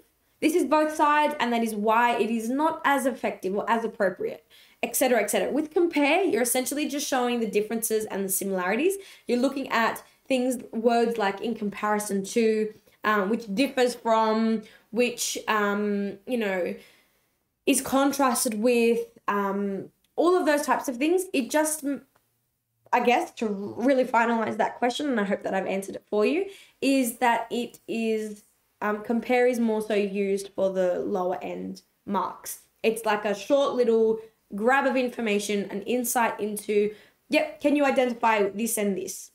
Whereas assess is, can you identify this and this, but can you go into why? Hope that makes sense there too. Um, how do you best maximize marks in short answer questions? I always lose like one mark, even if I know the content. That comes down to your understanding of the directive verb. Just based on how you've written that question, I don't know you and I would love to, but it is something that um, definitely is an experience for many students and it's very real and very valid. How I would help you with that is know your content, but be able to adapt it and be able to expose yourself to different types of questions. Just go on to NESA, look at the different past papers, look at even your trial paper, look at the different types of questions and instantly in the back of your head, think of how you would approach it and how you would connect it to this unseen question. We can have the same content area for many different questions. For example, we might get asked about Ottawa Charter and its initiatives and healthcare and, and every health promotion in two different questions. But the questions will be asking you about different things. And so it's important to pick up on that directive verb, whether it is asking you to explain and show a relationship between the two, or if it's asking you to justify and prove that it's actually effective, or whether it's asking you to describe and essentially just show me in its entirety, whether it's asking you to, to what extent to show me has it been impactful make a judgment here. Those things will really differentiate how you can link your um, content to the question and ultimately gain that full marks. It also comes down to how you write. So it's ensuring that your words are clear, easy to read, the sentences flow, and it just adds on to the next point. It's it's almost like a spiral and you're just drawing and connecting all of the ideas together. Sometimes when we write in exams, we can be going crazy, our adrenaline is moving a million miles an hour, and it's like bang, bang, bang, um, just get the words out onto the page that can be really hard to you know work through and control in terms of um, ensuring that your clarity is there and that your your content is clear and stuff like that so being able to expose yourself to different types of timed conditions seeing different questions is great because you're able to build on that exam stress, that exam adrenaline, and actually get used to it and sit with it and be like, you know what, it doesn't actually stress me out because I've done this before. When I was doing my HSC, on the days of my exam, I literally was excited. I was just, I was calm, I was relaxed. Everyone around me was very stressed, very anxious, very loud, and, and really just trying to gain as much information as possible in the last 20 minutes before the doors were going to open. And I was just really calm because I had sat with and had practiced many times sitting under time conditions and being able to um, like write essentially. And when I got to the HSC in my head, I'm like, it's just another practice. I've done this before. So this is exactly what it's like. It's nothing different, it's nothing crazy. I've practiced this, so I know what I'm doing. That will really help with how you would best maximize your marks um, as well. Um, is there a chance we could have access to your acronyms? You can. Please book in a private tutoring session with me and I will be able to give them to you personally. but uh, for some of them so far that I've mentioned, you can always rewind the lecture that will be recorded and you'll be able to just rewrite them down RSVP to weddings or Dipsy Sub or um, CAT, whatever it is that I have. You can make up your own acronyms too but I am more than happy to give you my acronyms in a private tutoring session. I hope that that helps. Um, I so um, a student has asked, would you say that an intro is necessary for anything above a three marker? Yeah, that's a great way to really summarize what I said. um, thank you. I will take notes for next time. Um, but you would obviously write an introductory sentence differently in comparison to the question. So obviously, if your question asks you to what extent, you're going to start off your introductory sentence with a judgment, with a effective or ineffective right there, significantly, whatever. Um, if your question asks you to compare, you could say the differences between whatever. You get really straight into it. You just need a little introductory word or so to get the flow going.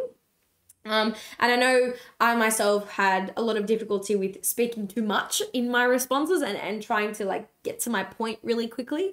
I find that I still have that problem now, but that's fine. In HSC, I learned to go through my introductions and be really meticulous about them. Am I adapting them to be longer or shorter? Are they quite specific and really just start my my essay my essay my response off with the bang or do i need more sentences to explain what i'm going to talk about? And then i get into my response. It's really just making sure that you know how to begin writing that sentence. So yes i definitely say an intro after three marks is necessary.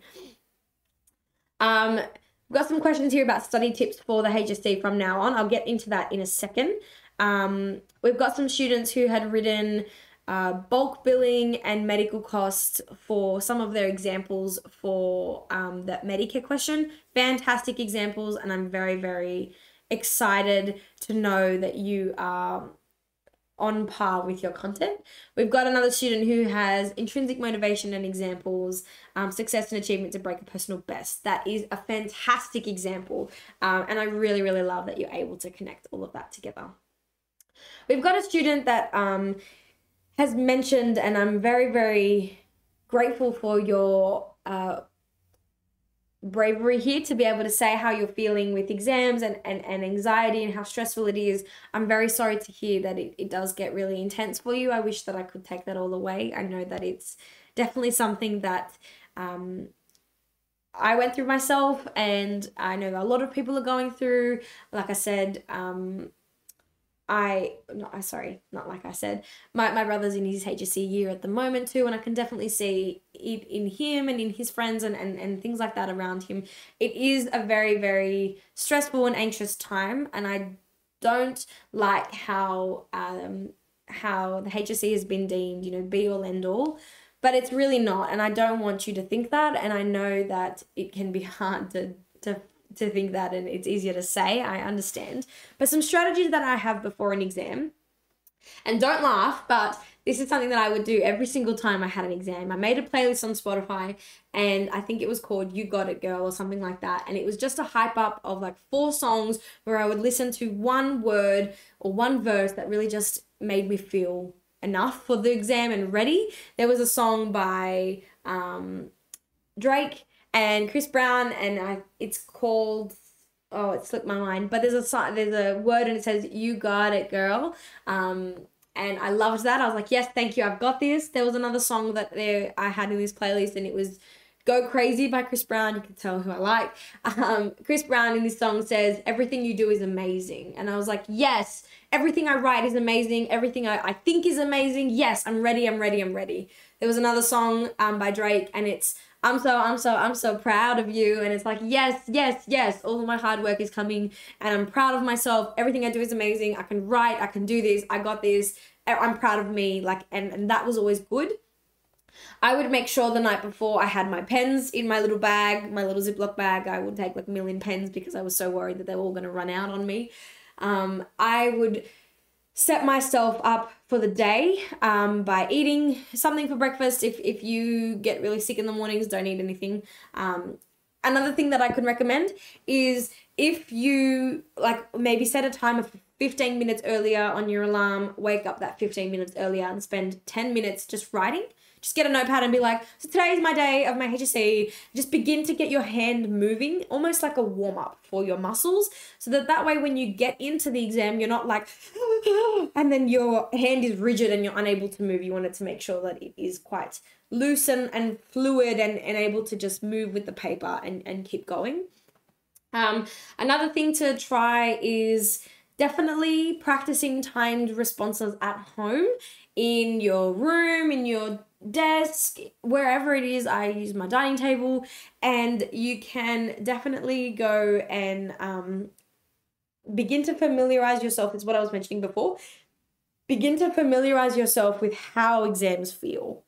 And yes, they can be nerve wracking. Give yourself um, a random exam question and um, I would write them down on pieces of paper and I would just pick a random section like any, mini, miny, mo. I'd close my eyes, pick a paper. That would be my random question. And then I would just write down on a notepad, you know, my response.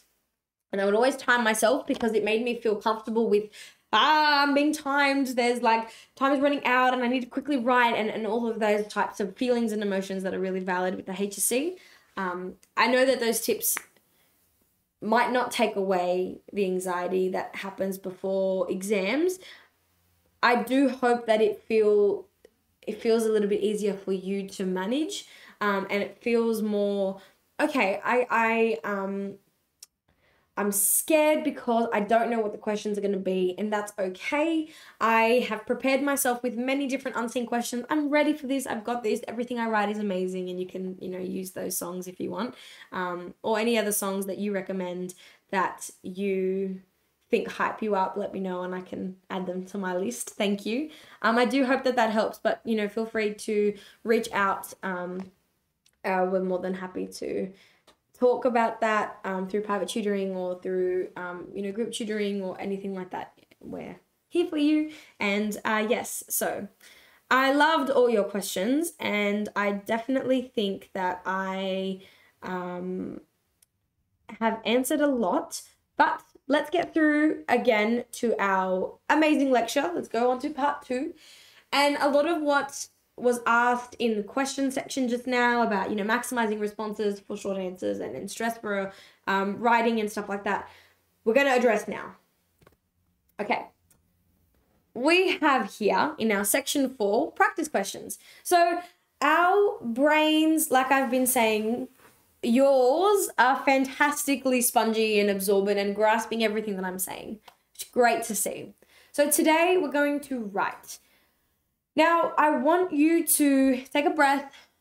It is not going to be marked. I cannot see your writing. Um, I am just a little hype up on your shoulder, like, woo, you got this. I'm your cheerleader. Don't feel like you need to. Um, oh, lol. See, I made a typo there. Anyway, um, I guess it shows you that it's okay to um, just do this as you are, as you do. So I want to get those pens and papers out. We're going to be physically writing, writing, and I am going to be timing you. Don't worry, it is not going to be super long responses, and they're relatively easy to be like, oh, yeah, yeah, this is cool. Thanks for the warm up. I'm ready. I've dipped my toes in. It's good. I want you to think about when you are seeing these questions. Do you need an intro sentence? What is the verb asking you to do? Do you have an example? Now, before you see these unseen questions, the first point of contact I want you to look at is the marks. how much do I need to write? My PE teacher, I don't know if anyone is here from my school. Um, I was at Mary MacKillop Catholic College, but Mr. Croce, shout out to him. He said that I needed to be a real estate agent of my question. That meant that I need to look at how much marks it was worth and give it value. How much can I give to this house of a question, right? How much how much can I offer? That will that will allow you to begin prepping your brain to say, yep, this is how much I have to write. This is what I'm going to talk about. This is the value of this question. This is what it is worth. So first point of contact always always always always is the marks. Straight at the end of the question you need to look at the marks.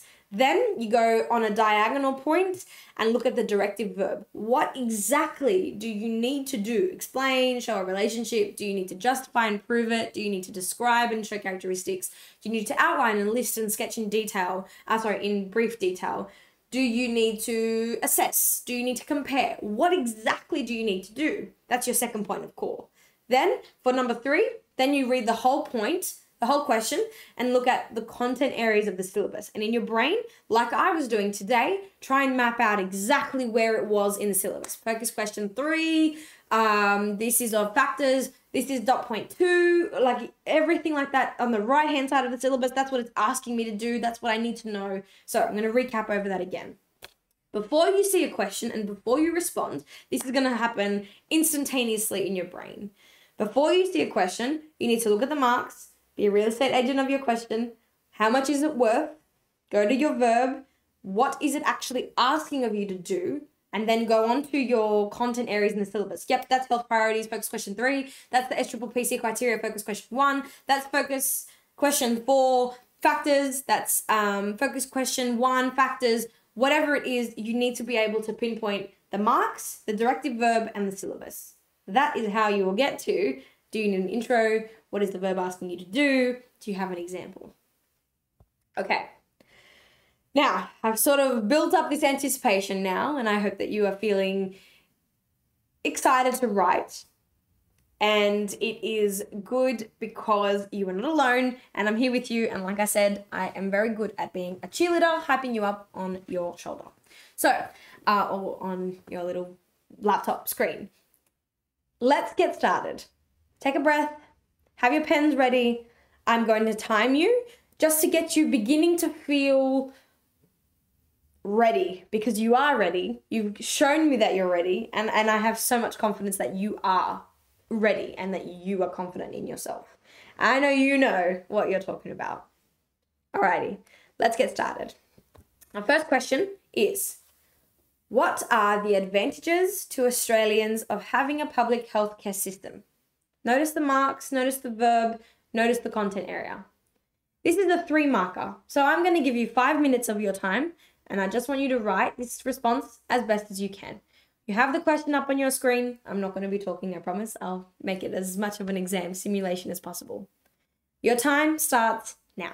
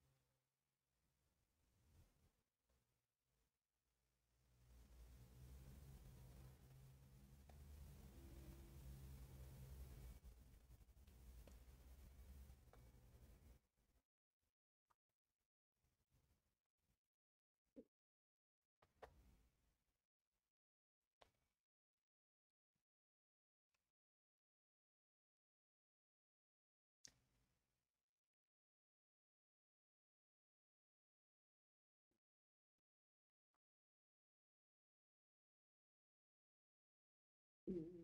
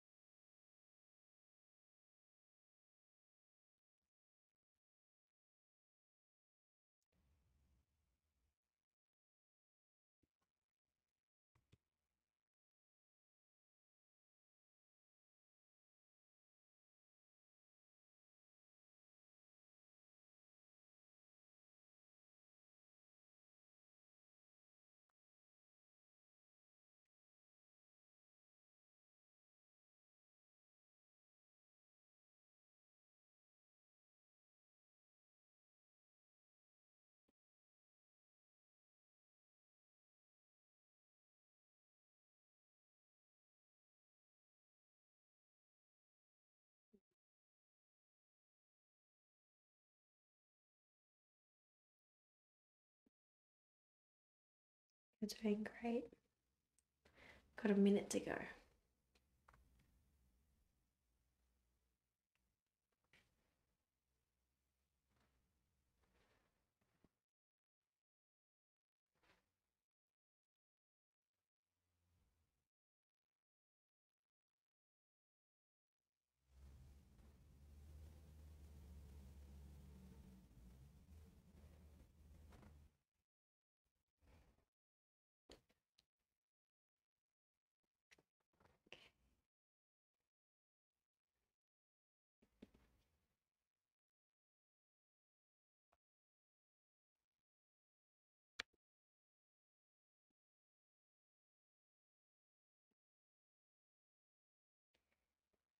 Last 10 seconds.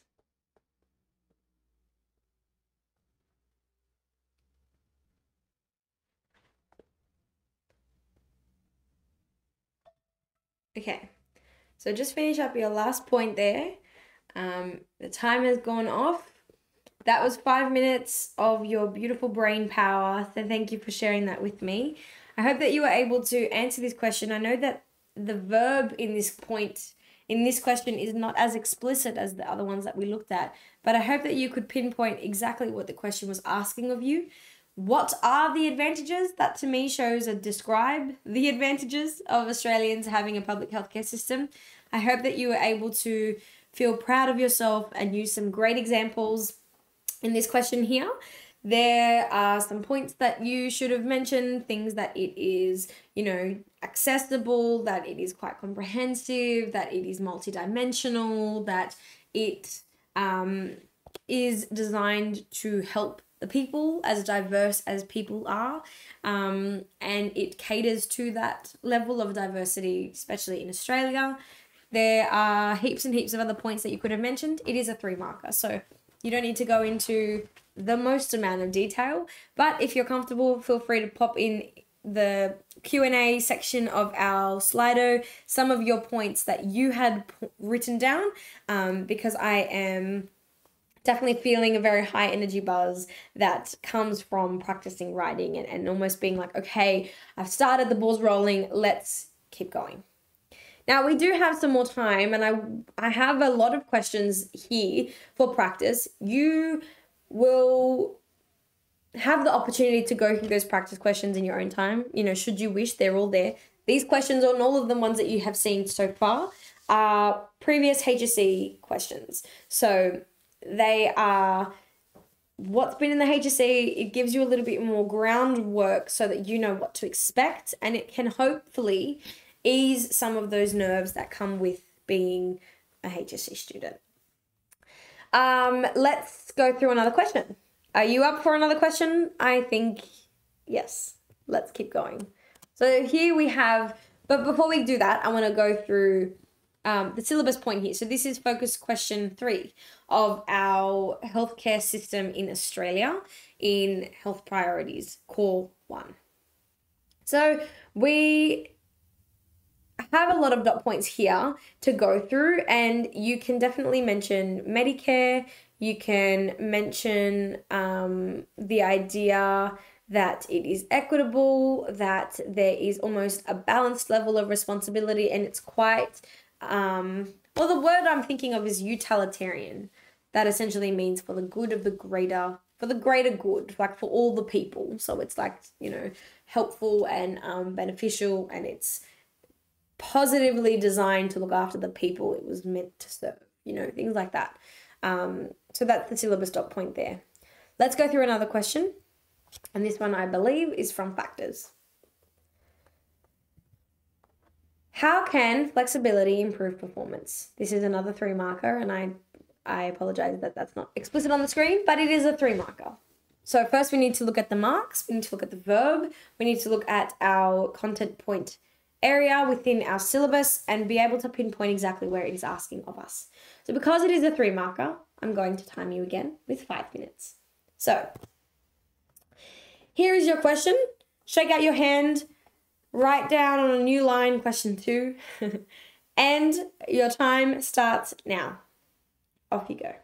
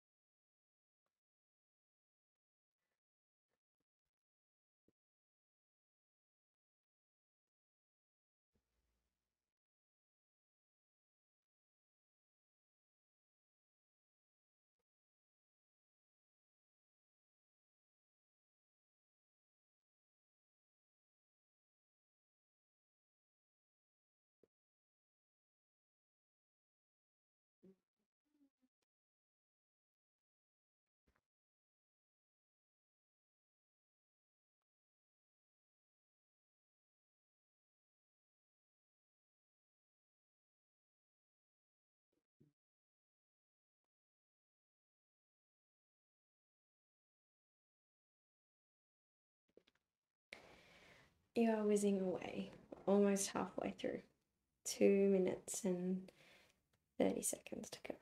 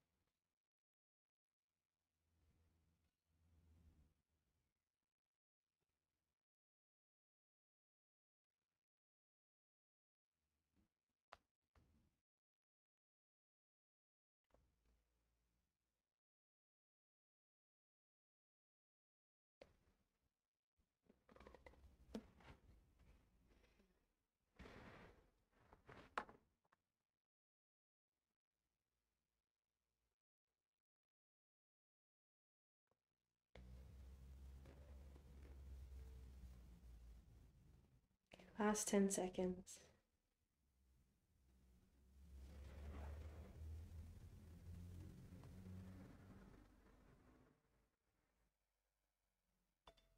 Alrighty. You finished two practice questions.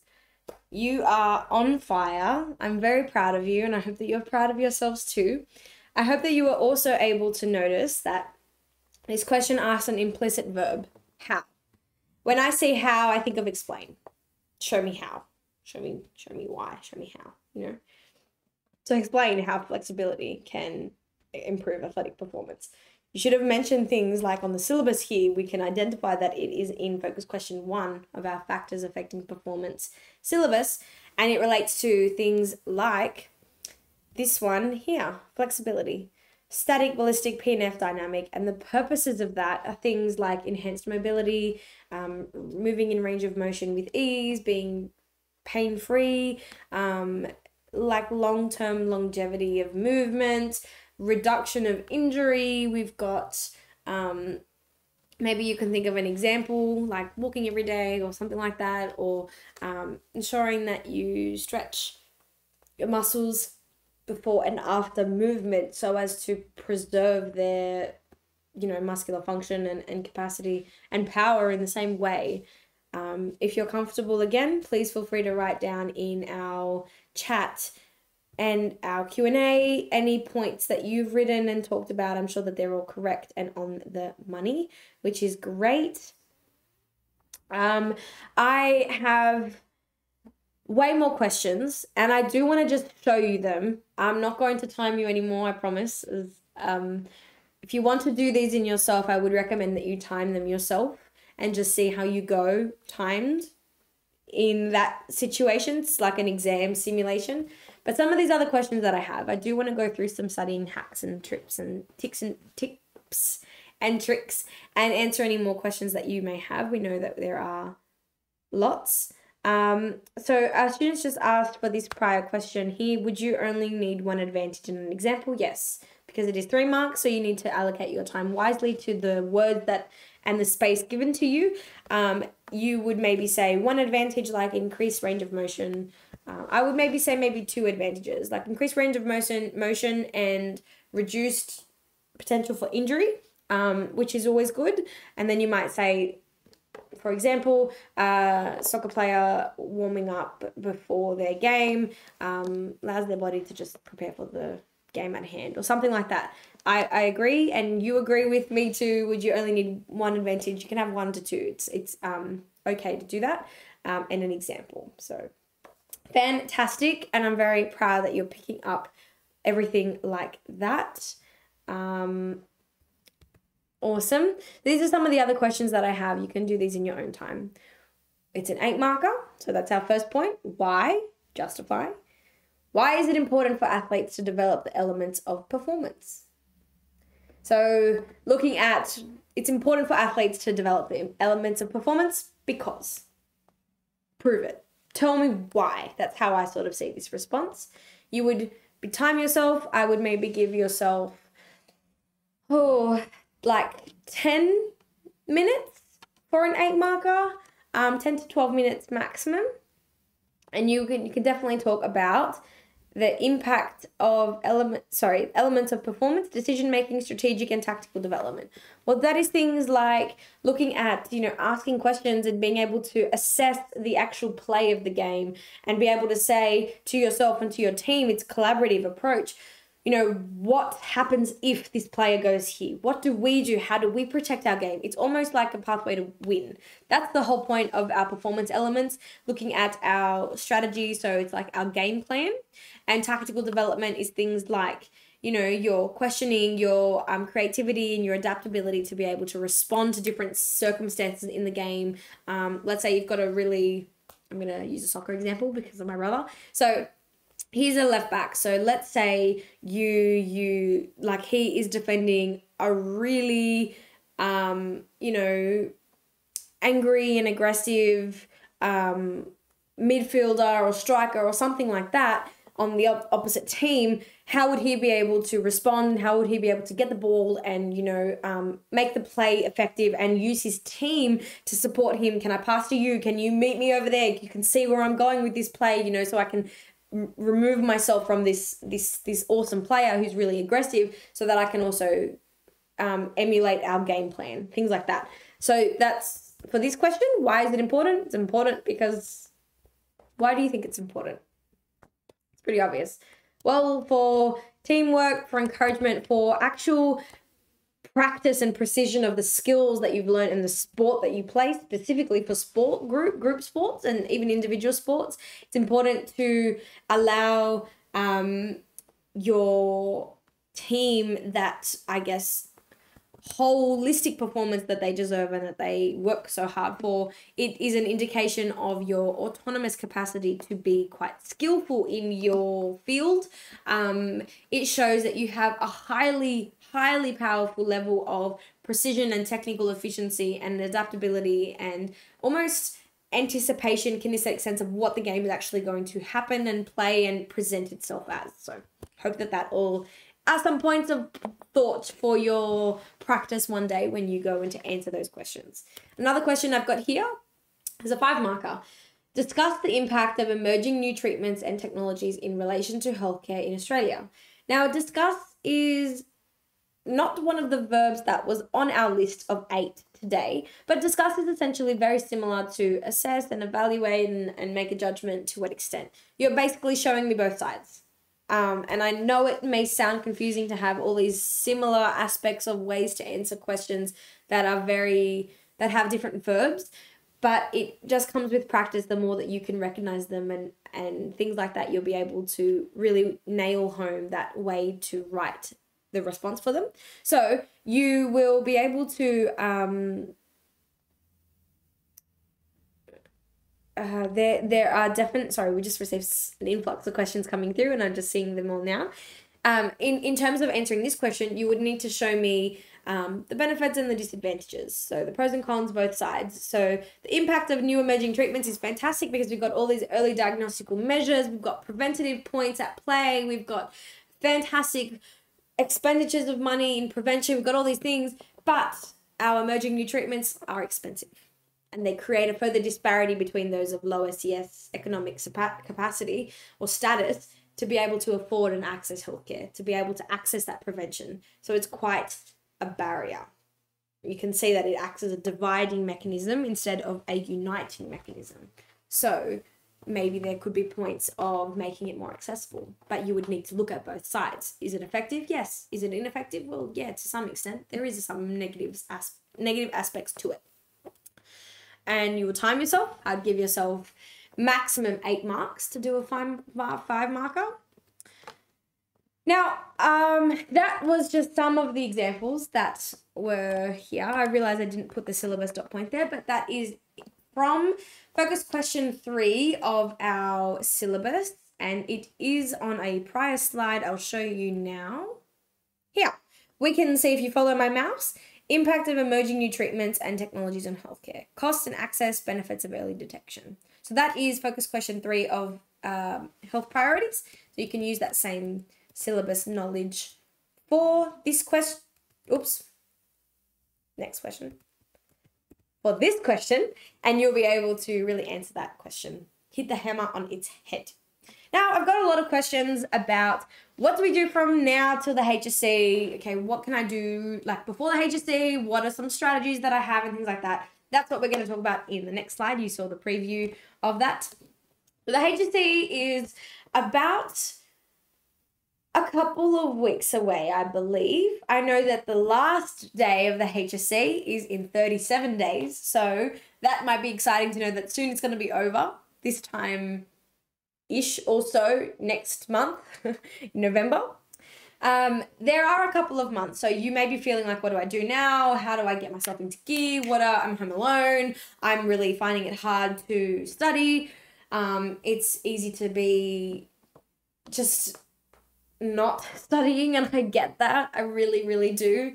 But the first thing that you've done and that you have successfully all done is come to this lecture. It's a very, very good bouncing catalyst launch pad for the HSC because we go we went through some studying um, points. We practiced practice questions, so that's a really awesome hats off for you all today. And we went through some introductory purposes, some examples, some verbs. We really broke down what it is that is being asked of us. So that's a great first step. Now, there are some aspects of studying that can be really exhausting and boring and then you do them for so long and you're like i'm so over them and i completely understand you have no idea how many times i used to cry over sitting at my um, dining table because i was doing all these practice papers every day and i was like i'm so over it. I can't sit there anymore. So i completely get it. But i was able to attend my own i was able to attend lectures myself. And it's weird now. Actually it's not weird. It's really cool. Being on the other end and being able to deliver these lectures to help you the way that I was helped as well. So, past papers, like we did today, don't always necessarily need to be in the form of the NESA HSC format. It can be very um, boring, and like athletes need variety in their training, we also, as students, need athletes in our variety. We also, as students, that sounded so better in my head and my mouth was too quickly, was moving too fast. So, we as students need variety to be studying for the HSC because it can really impact our motivation levels the more that we switch it up a little bit here and there. So hopefully today you were able to see a different version of practice papers and you were able to expose yourself to unseen questions and respond instant instinctively instinctively and be able to just, you know, formulate a response that comes to your head. You're able to grasp the content of the syllabus and pinpoint where it is. You're able to understand where the verb asks you to go and, you know, following that direction in that path they are a great way. Um, like I mentioned before, you can do things where you write them down on a piece of paper and do like an eeny, meeny, miny, mo and just grab that HSC question. You can um, make up a list of all of the old possible HSC questions and literally just scroll through and close your eyes and pick a pick a question and write it down, have that ready to go. I always told my family guys, no talking. I'm doing a practice exam. They're like, again? I'm like, yes, that's it. I, I need to um, time myself. I need to be in silence. I need to really pretend like I'm in an exam. And they're like, yep, no worries. That's fine. group studies good and working with others is good it shows you that you know your content well enough to teach and to explain and to help other people solidify their own understanding of their content which is fantastic you can even do things like um, over Zoom, over um, at the park, or whatever it is, and you can just literally talk to each other about the content. You can have a whiteboard set up. I really love whiteboards, they're fun. Um, you can even just talk to your pet, talk to your brother, talk to your sibling, talk to whoever, and just tell them the content, tell them how much you know. They um, haven't studied those subjects like you, so they won't be able to say that's wrong or that's not true or anything like that.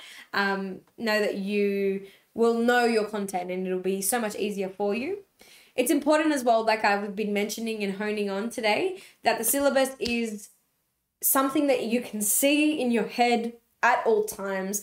Um, you can do things like closed passages where you have your syllabus next to you and on a different piece of paper you you write out like focus question one um you know whatever the fo- the question is called then you have your first dot point nature of um or not nature of that sports medicine again but you would have things like um, I don't know, Ottawa Charter or whatever it is, and then you have the three dot points underneath Ottawa Charter, and you you have like dot dot dot dot dot dot, lines of words that need to be filled, and it really forces your brain to do active recall and go through a process of um, remembering what's the what content is stored in our long-term memory and trying to be able to pinpoint on that syllabus where it is. That's how I'm able to know that's the third dot point from this side, that's on the left-hand side, because I really was able to memorize that syllabus and that closed passage really helped me. So definitely try that if you think that that would work. Another way you could try um, learning the syllabus is through flashcards. Um, there's online platforms like Quizlet that are really great in terms of making digital flashcards. So you can have the name of the syllabus dot point on one side, and before you flip it over onto the other side where it tells you what the dot points are, you would recall them and you would say them out loud. Always, always, always say them out loud because that helps your brain hear what you are talking about and it makes your brain focus on what you are saying. We often in um, making a general statement by saying we, but can overthink in our brains and can really just spiral and go over a million different thoughts in a million miles an hour. And if we talk at, about them out loud, we can really hone in on what it is that our brain is thinking to focus on what we are saying to then write what we are thinking. It's great. Um, some other steps that you can do. Um, I actually really love studying for PE. It can be fun. Today was a point of practice for me when I was in your shoes two years ago. You can add so much more um, variety. Like I said before, like athletes need it for their training, we need it too for our studying. You can do things like flashcards. Um, you can do things through a verbal uh, practice and recollection. I love to talk if you can't tell, and I would stand I would I would go into my room and I would just talk in the mirror and I would say, "So this is the content for today." And I would pretend to be hosting a stage of an audience. You can do that. Um you can pretend to sorry, not pretend. You can record yourself saying the content and just listen to it over and over again, like how we listen to songs and, and know all the words. Same sort of thing. You can you can talk to a friend, to your mirror, to yourself, to your pet. I always used to go after every single day, I would go into my room and I would say, okay, so today I went and did two PE practice questions. One was about the um, advantages of being in a public healthcare system in Australia. The other one was about flexibility. So for the one about uh, Medicare and advantages, I talked about how it's accessible and there's um, you know PBS and, and things like that, Medicare and subsidized and it caters to all people. And then for flexibility, I talked about range of motion and I talked about prevention of injury. And I gave an example. My example was this: you go and you just literally repeat everything that you've said. It really just cements it in your brain and it's like yes we're going to keep it in our brains for a while.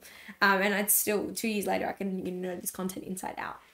Uh, multiple choice is fantastic and it's a really, really great way to gain a lot of marks. Um, it's quite an easy opportunity for you to show off your skills.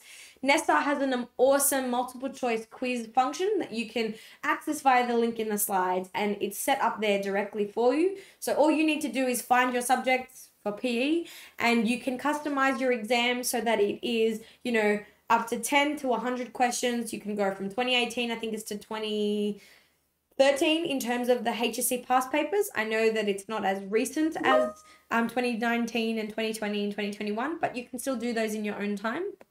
There's heaps and heaps of um, like Kahoots and stuff that you can do, or you even just type in like P health priorities quizzes, and then like random ones will come up on your um, internet browser. And like some that I've done are really fun. They've got like memes and they have like sounds and these points, and it's a little bit like Kahoot, but it's not Kahoot, you know. So you can do all of those things too.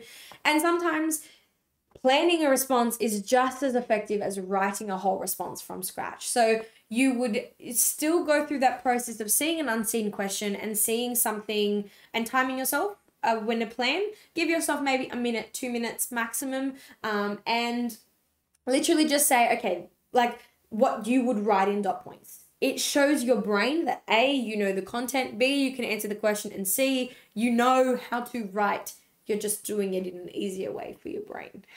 and you know, when you get to the HSC, hopefully you'll be like me and be like, you know, I've done this before. It's fine. I got this. I know how to approach unseen questions. I know what I'm going to write. I know my content. I know I can adapt it to each question. I know I've got my examples and I know I'm fine. I've practiced this.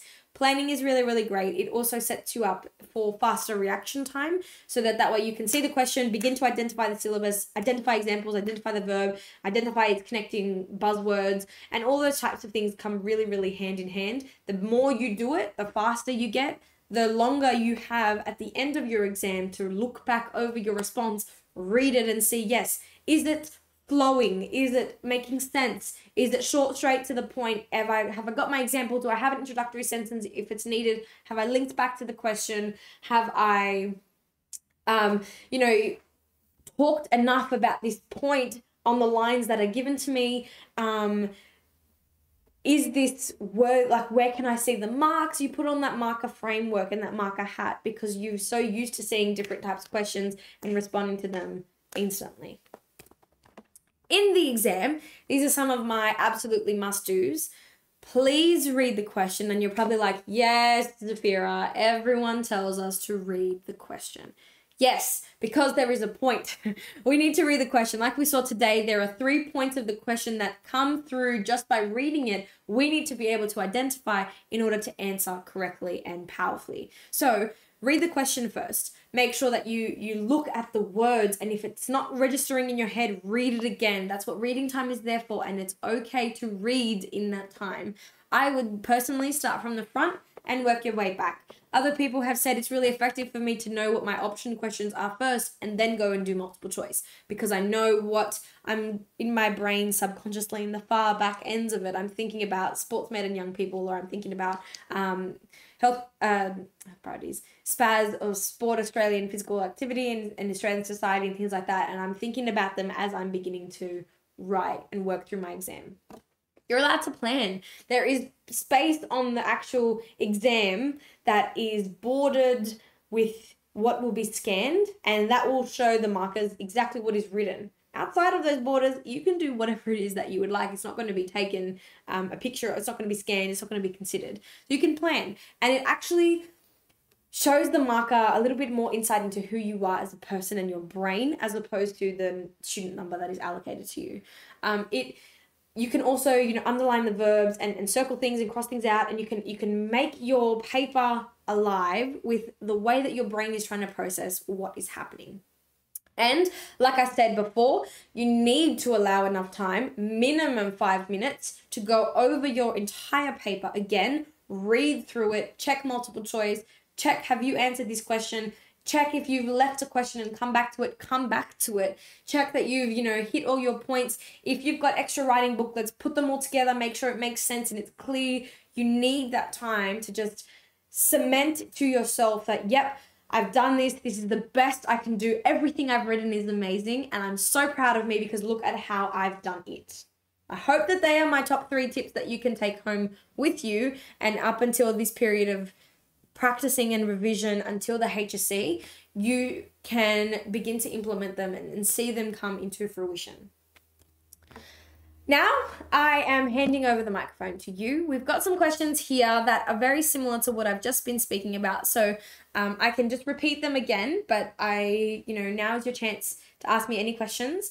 Um, I'll answer that student's question about what is carb loading again. Carb loading is a two stage process in uh, factors affecting performance that we look at in our focus question three under nutritional considerations. It's our first dot point there of that syllabus on the left hand side. We have to look at pre, post, and during the event performance. We have to look at fluid intake. Now, carbohydrate loading is when you are going, your first phase, you are going through um, a lot of carbs, right? You're eating a lot more carbs. You, I think it's about um, 15% of your body weight, um, you convert it to kilograms or something like that in the carbs. Don't worry too much about the scientific intricacies behind it.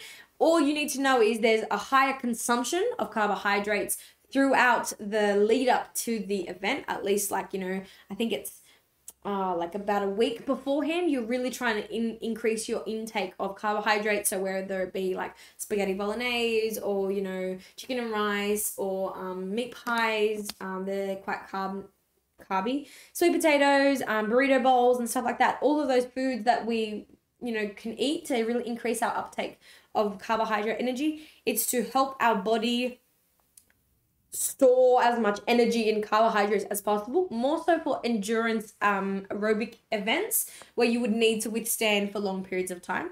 And the second phase is when you're not training um, and you're trying to really preserve, like the, the three days up until that point, you really need to just make sure that you are moving, yes, but not like exerting yourself physically and and you know removing all of that stored energy so that on the day of your event or on the competition or the performance or whatever it is, you can really hone in and access on those carbohydrate uh, stores and just use that energy. So I hope that that is clear for that student that asked what carbohydrate loading is. Um, and some students have asked what strategies would you recommend specifically for HSC? Explain the topic. Um, so, so for the HSC component and strategies there, definitely go over flashcards and, and speaking out loud and, and planning your responses. Definitely, definitely, definitely doing that under time conditions as well. Um, go back again and re-listen to those slides uh, and those points that I had mentioned over those slides too. Another student has asked, can I explain the topic of muscle hypertrophy and that whole dot point really quickly? Of course, hypertrophy just means growth, muscle size, you know, and, and making that bigger. Um, there's a lot of intricacies that happen with like the fascia, the muscle tissue underneath it, and, things like that. Don't worry too much about that.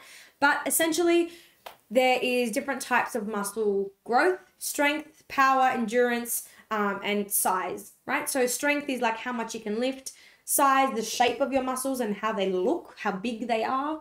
Um, power, how how much you can move them, how well you can move them, and endurance, how long they can last, you know? So, for example, if you are doing something more so for resistance based, training muscle hypertrophy occurs where you are able to um, implement progressive overload and, you know, for example, they like lower weights sorry, lower reps, higher weight, so that you can really just push your muscle to its max.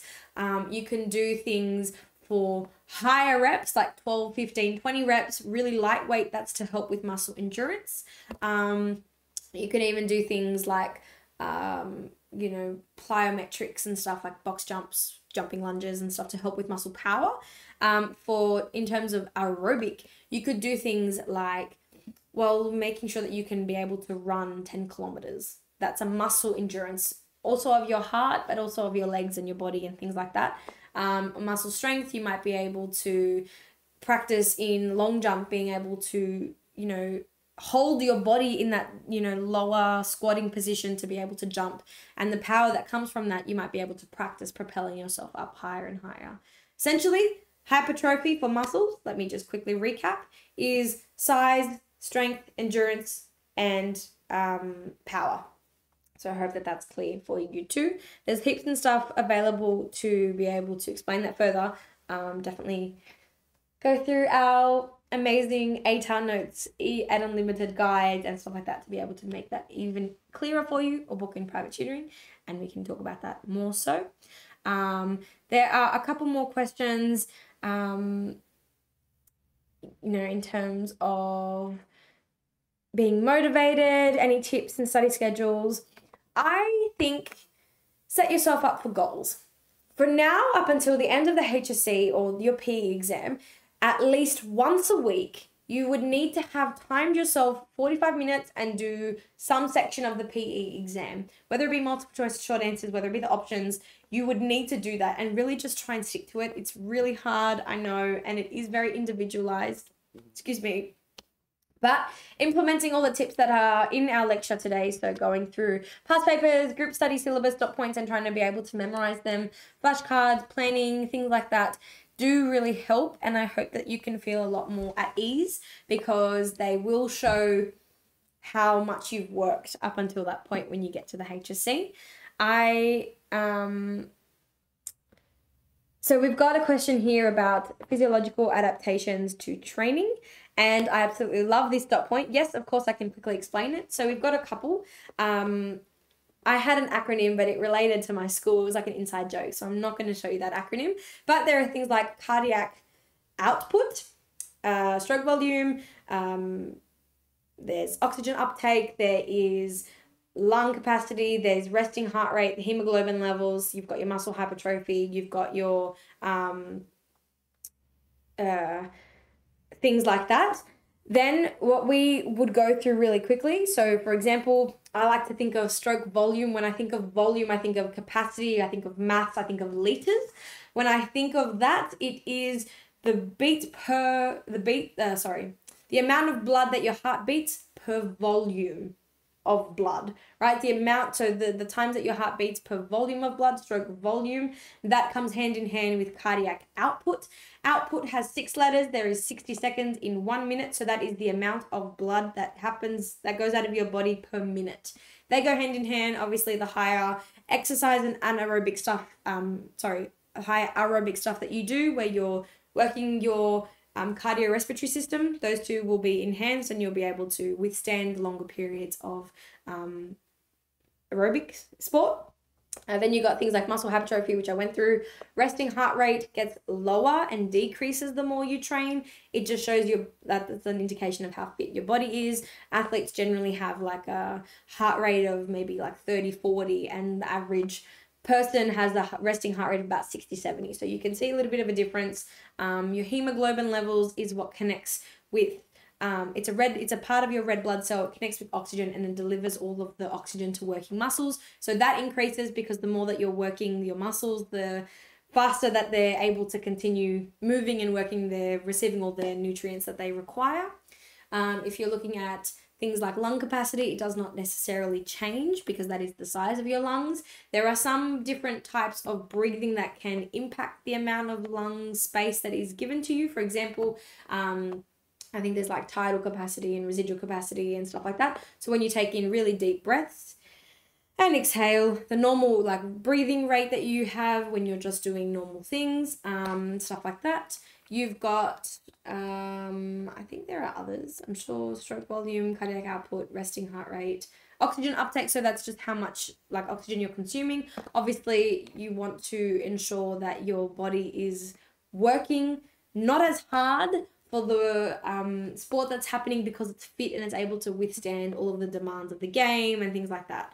Um, there, once again, hit me up for private tutoring and we can go through this even more so in detail. Um, go through the Notes guides on Ed Unlimited um, online or in person, use the discount codes there and be able to have that explained further. I want to ask you one more question um, before we wrap up for today. And this question is How do you feel? I am hoping to get a lot of excitement and you know vibes and good energy about the HSC and after this lecture.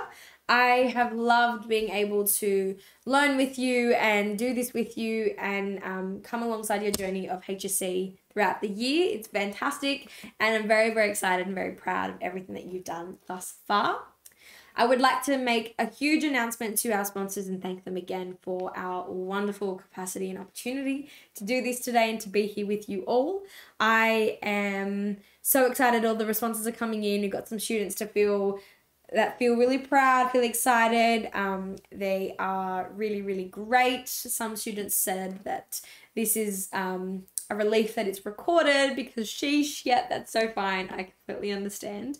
Um, but I hope that you definitely feel a lot better with yourself, with your content, with your actual exam capacity skills and the points of contact that you have in terms of your checklist of seeing the marks first, looking at the verb, and then going through the content. Going through, do you need an introductory sentence? Do you have an example? Do you understand and explain your verb? All of those things are really important. We got some great students that are like, HSC, here I come, fantastic. I'm so excited to be able to offer you this energy. I am hoping that you can really take on board everything that's been said and just like you have been this whole day absorb and absorb and absorb. And I hope that you feel really, really ready, accomplished, conquered, and you know that you feel like you not conquered. Sorry, I feel like that you can conquer the HSC. Um, we are going to is my tutoring free? Um feel free to just go through the website and have information sessions to book an info call. Um, it is not free, but you'll be able to uh, find out all of that information. The like if you book in that info call, and I would definitely love to meet you. That'd be great, and we will um, continue on this trajectory of awesomeness and readiness and success for our HSC. Good luck for your HSC. Take note of the time. Make sure that you practice under time conditions. Try and have a playlist that hypes you up to help with your anxiety and manage motivation. And that's a pun as well. And I will be seeing you shortly for your celebratory accomplishments of finishing the HSC. Thank you for your time. Thank you for being here today. Thank you for your engagement. Thank you for your awesome brains. And I will see you soon. Have a great holidays. Bye, everyone. Thank you so much. You've been fantastic. And I will see you soon. Bye, everyone.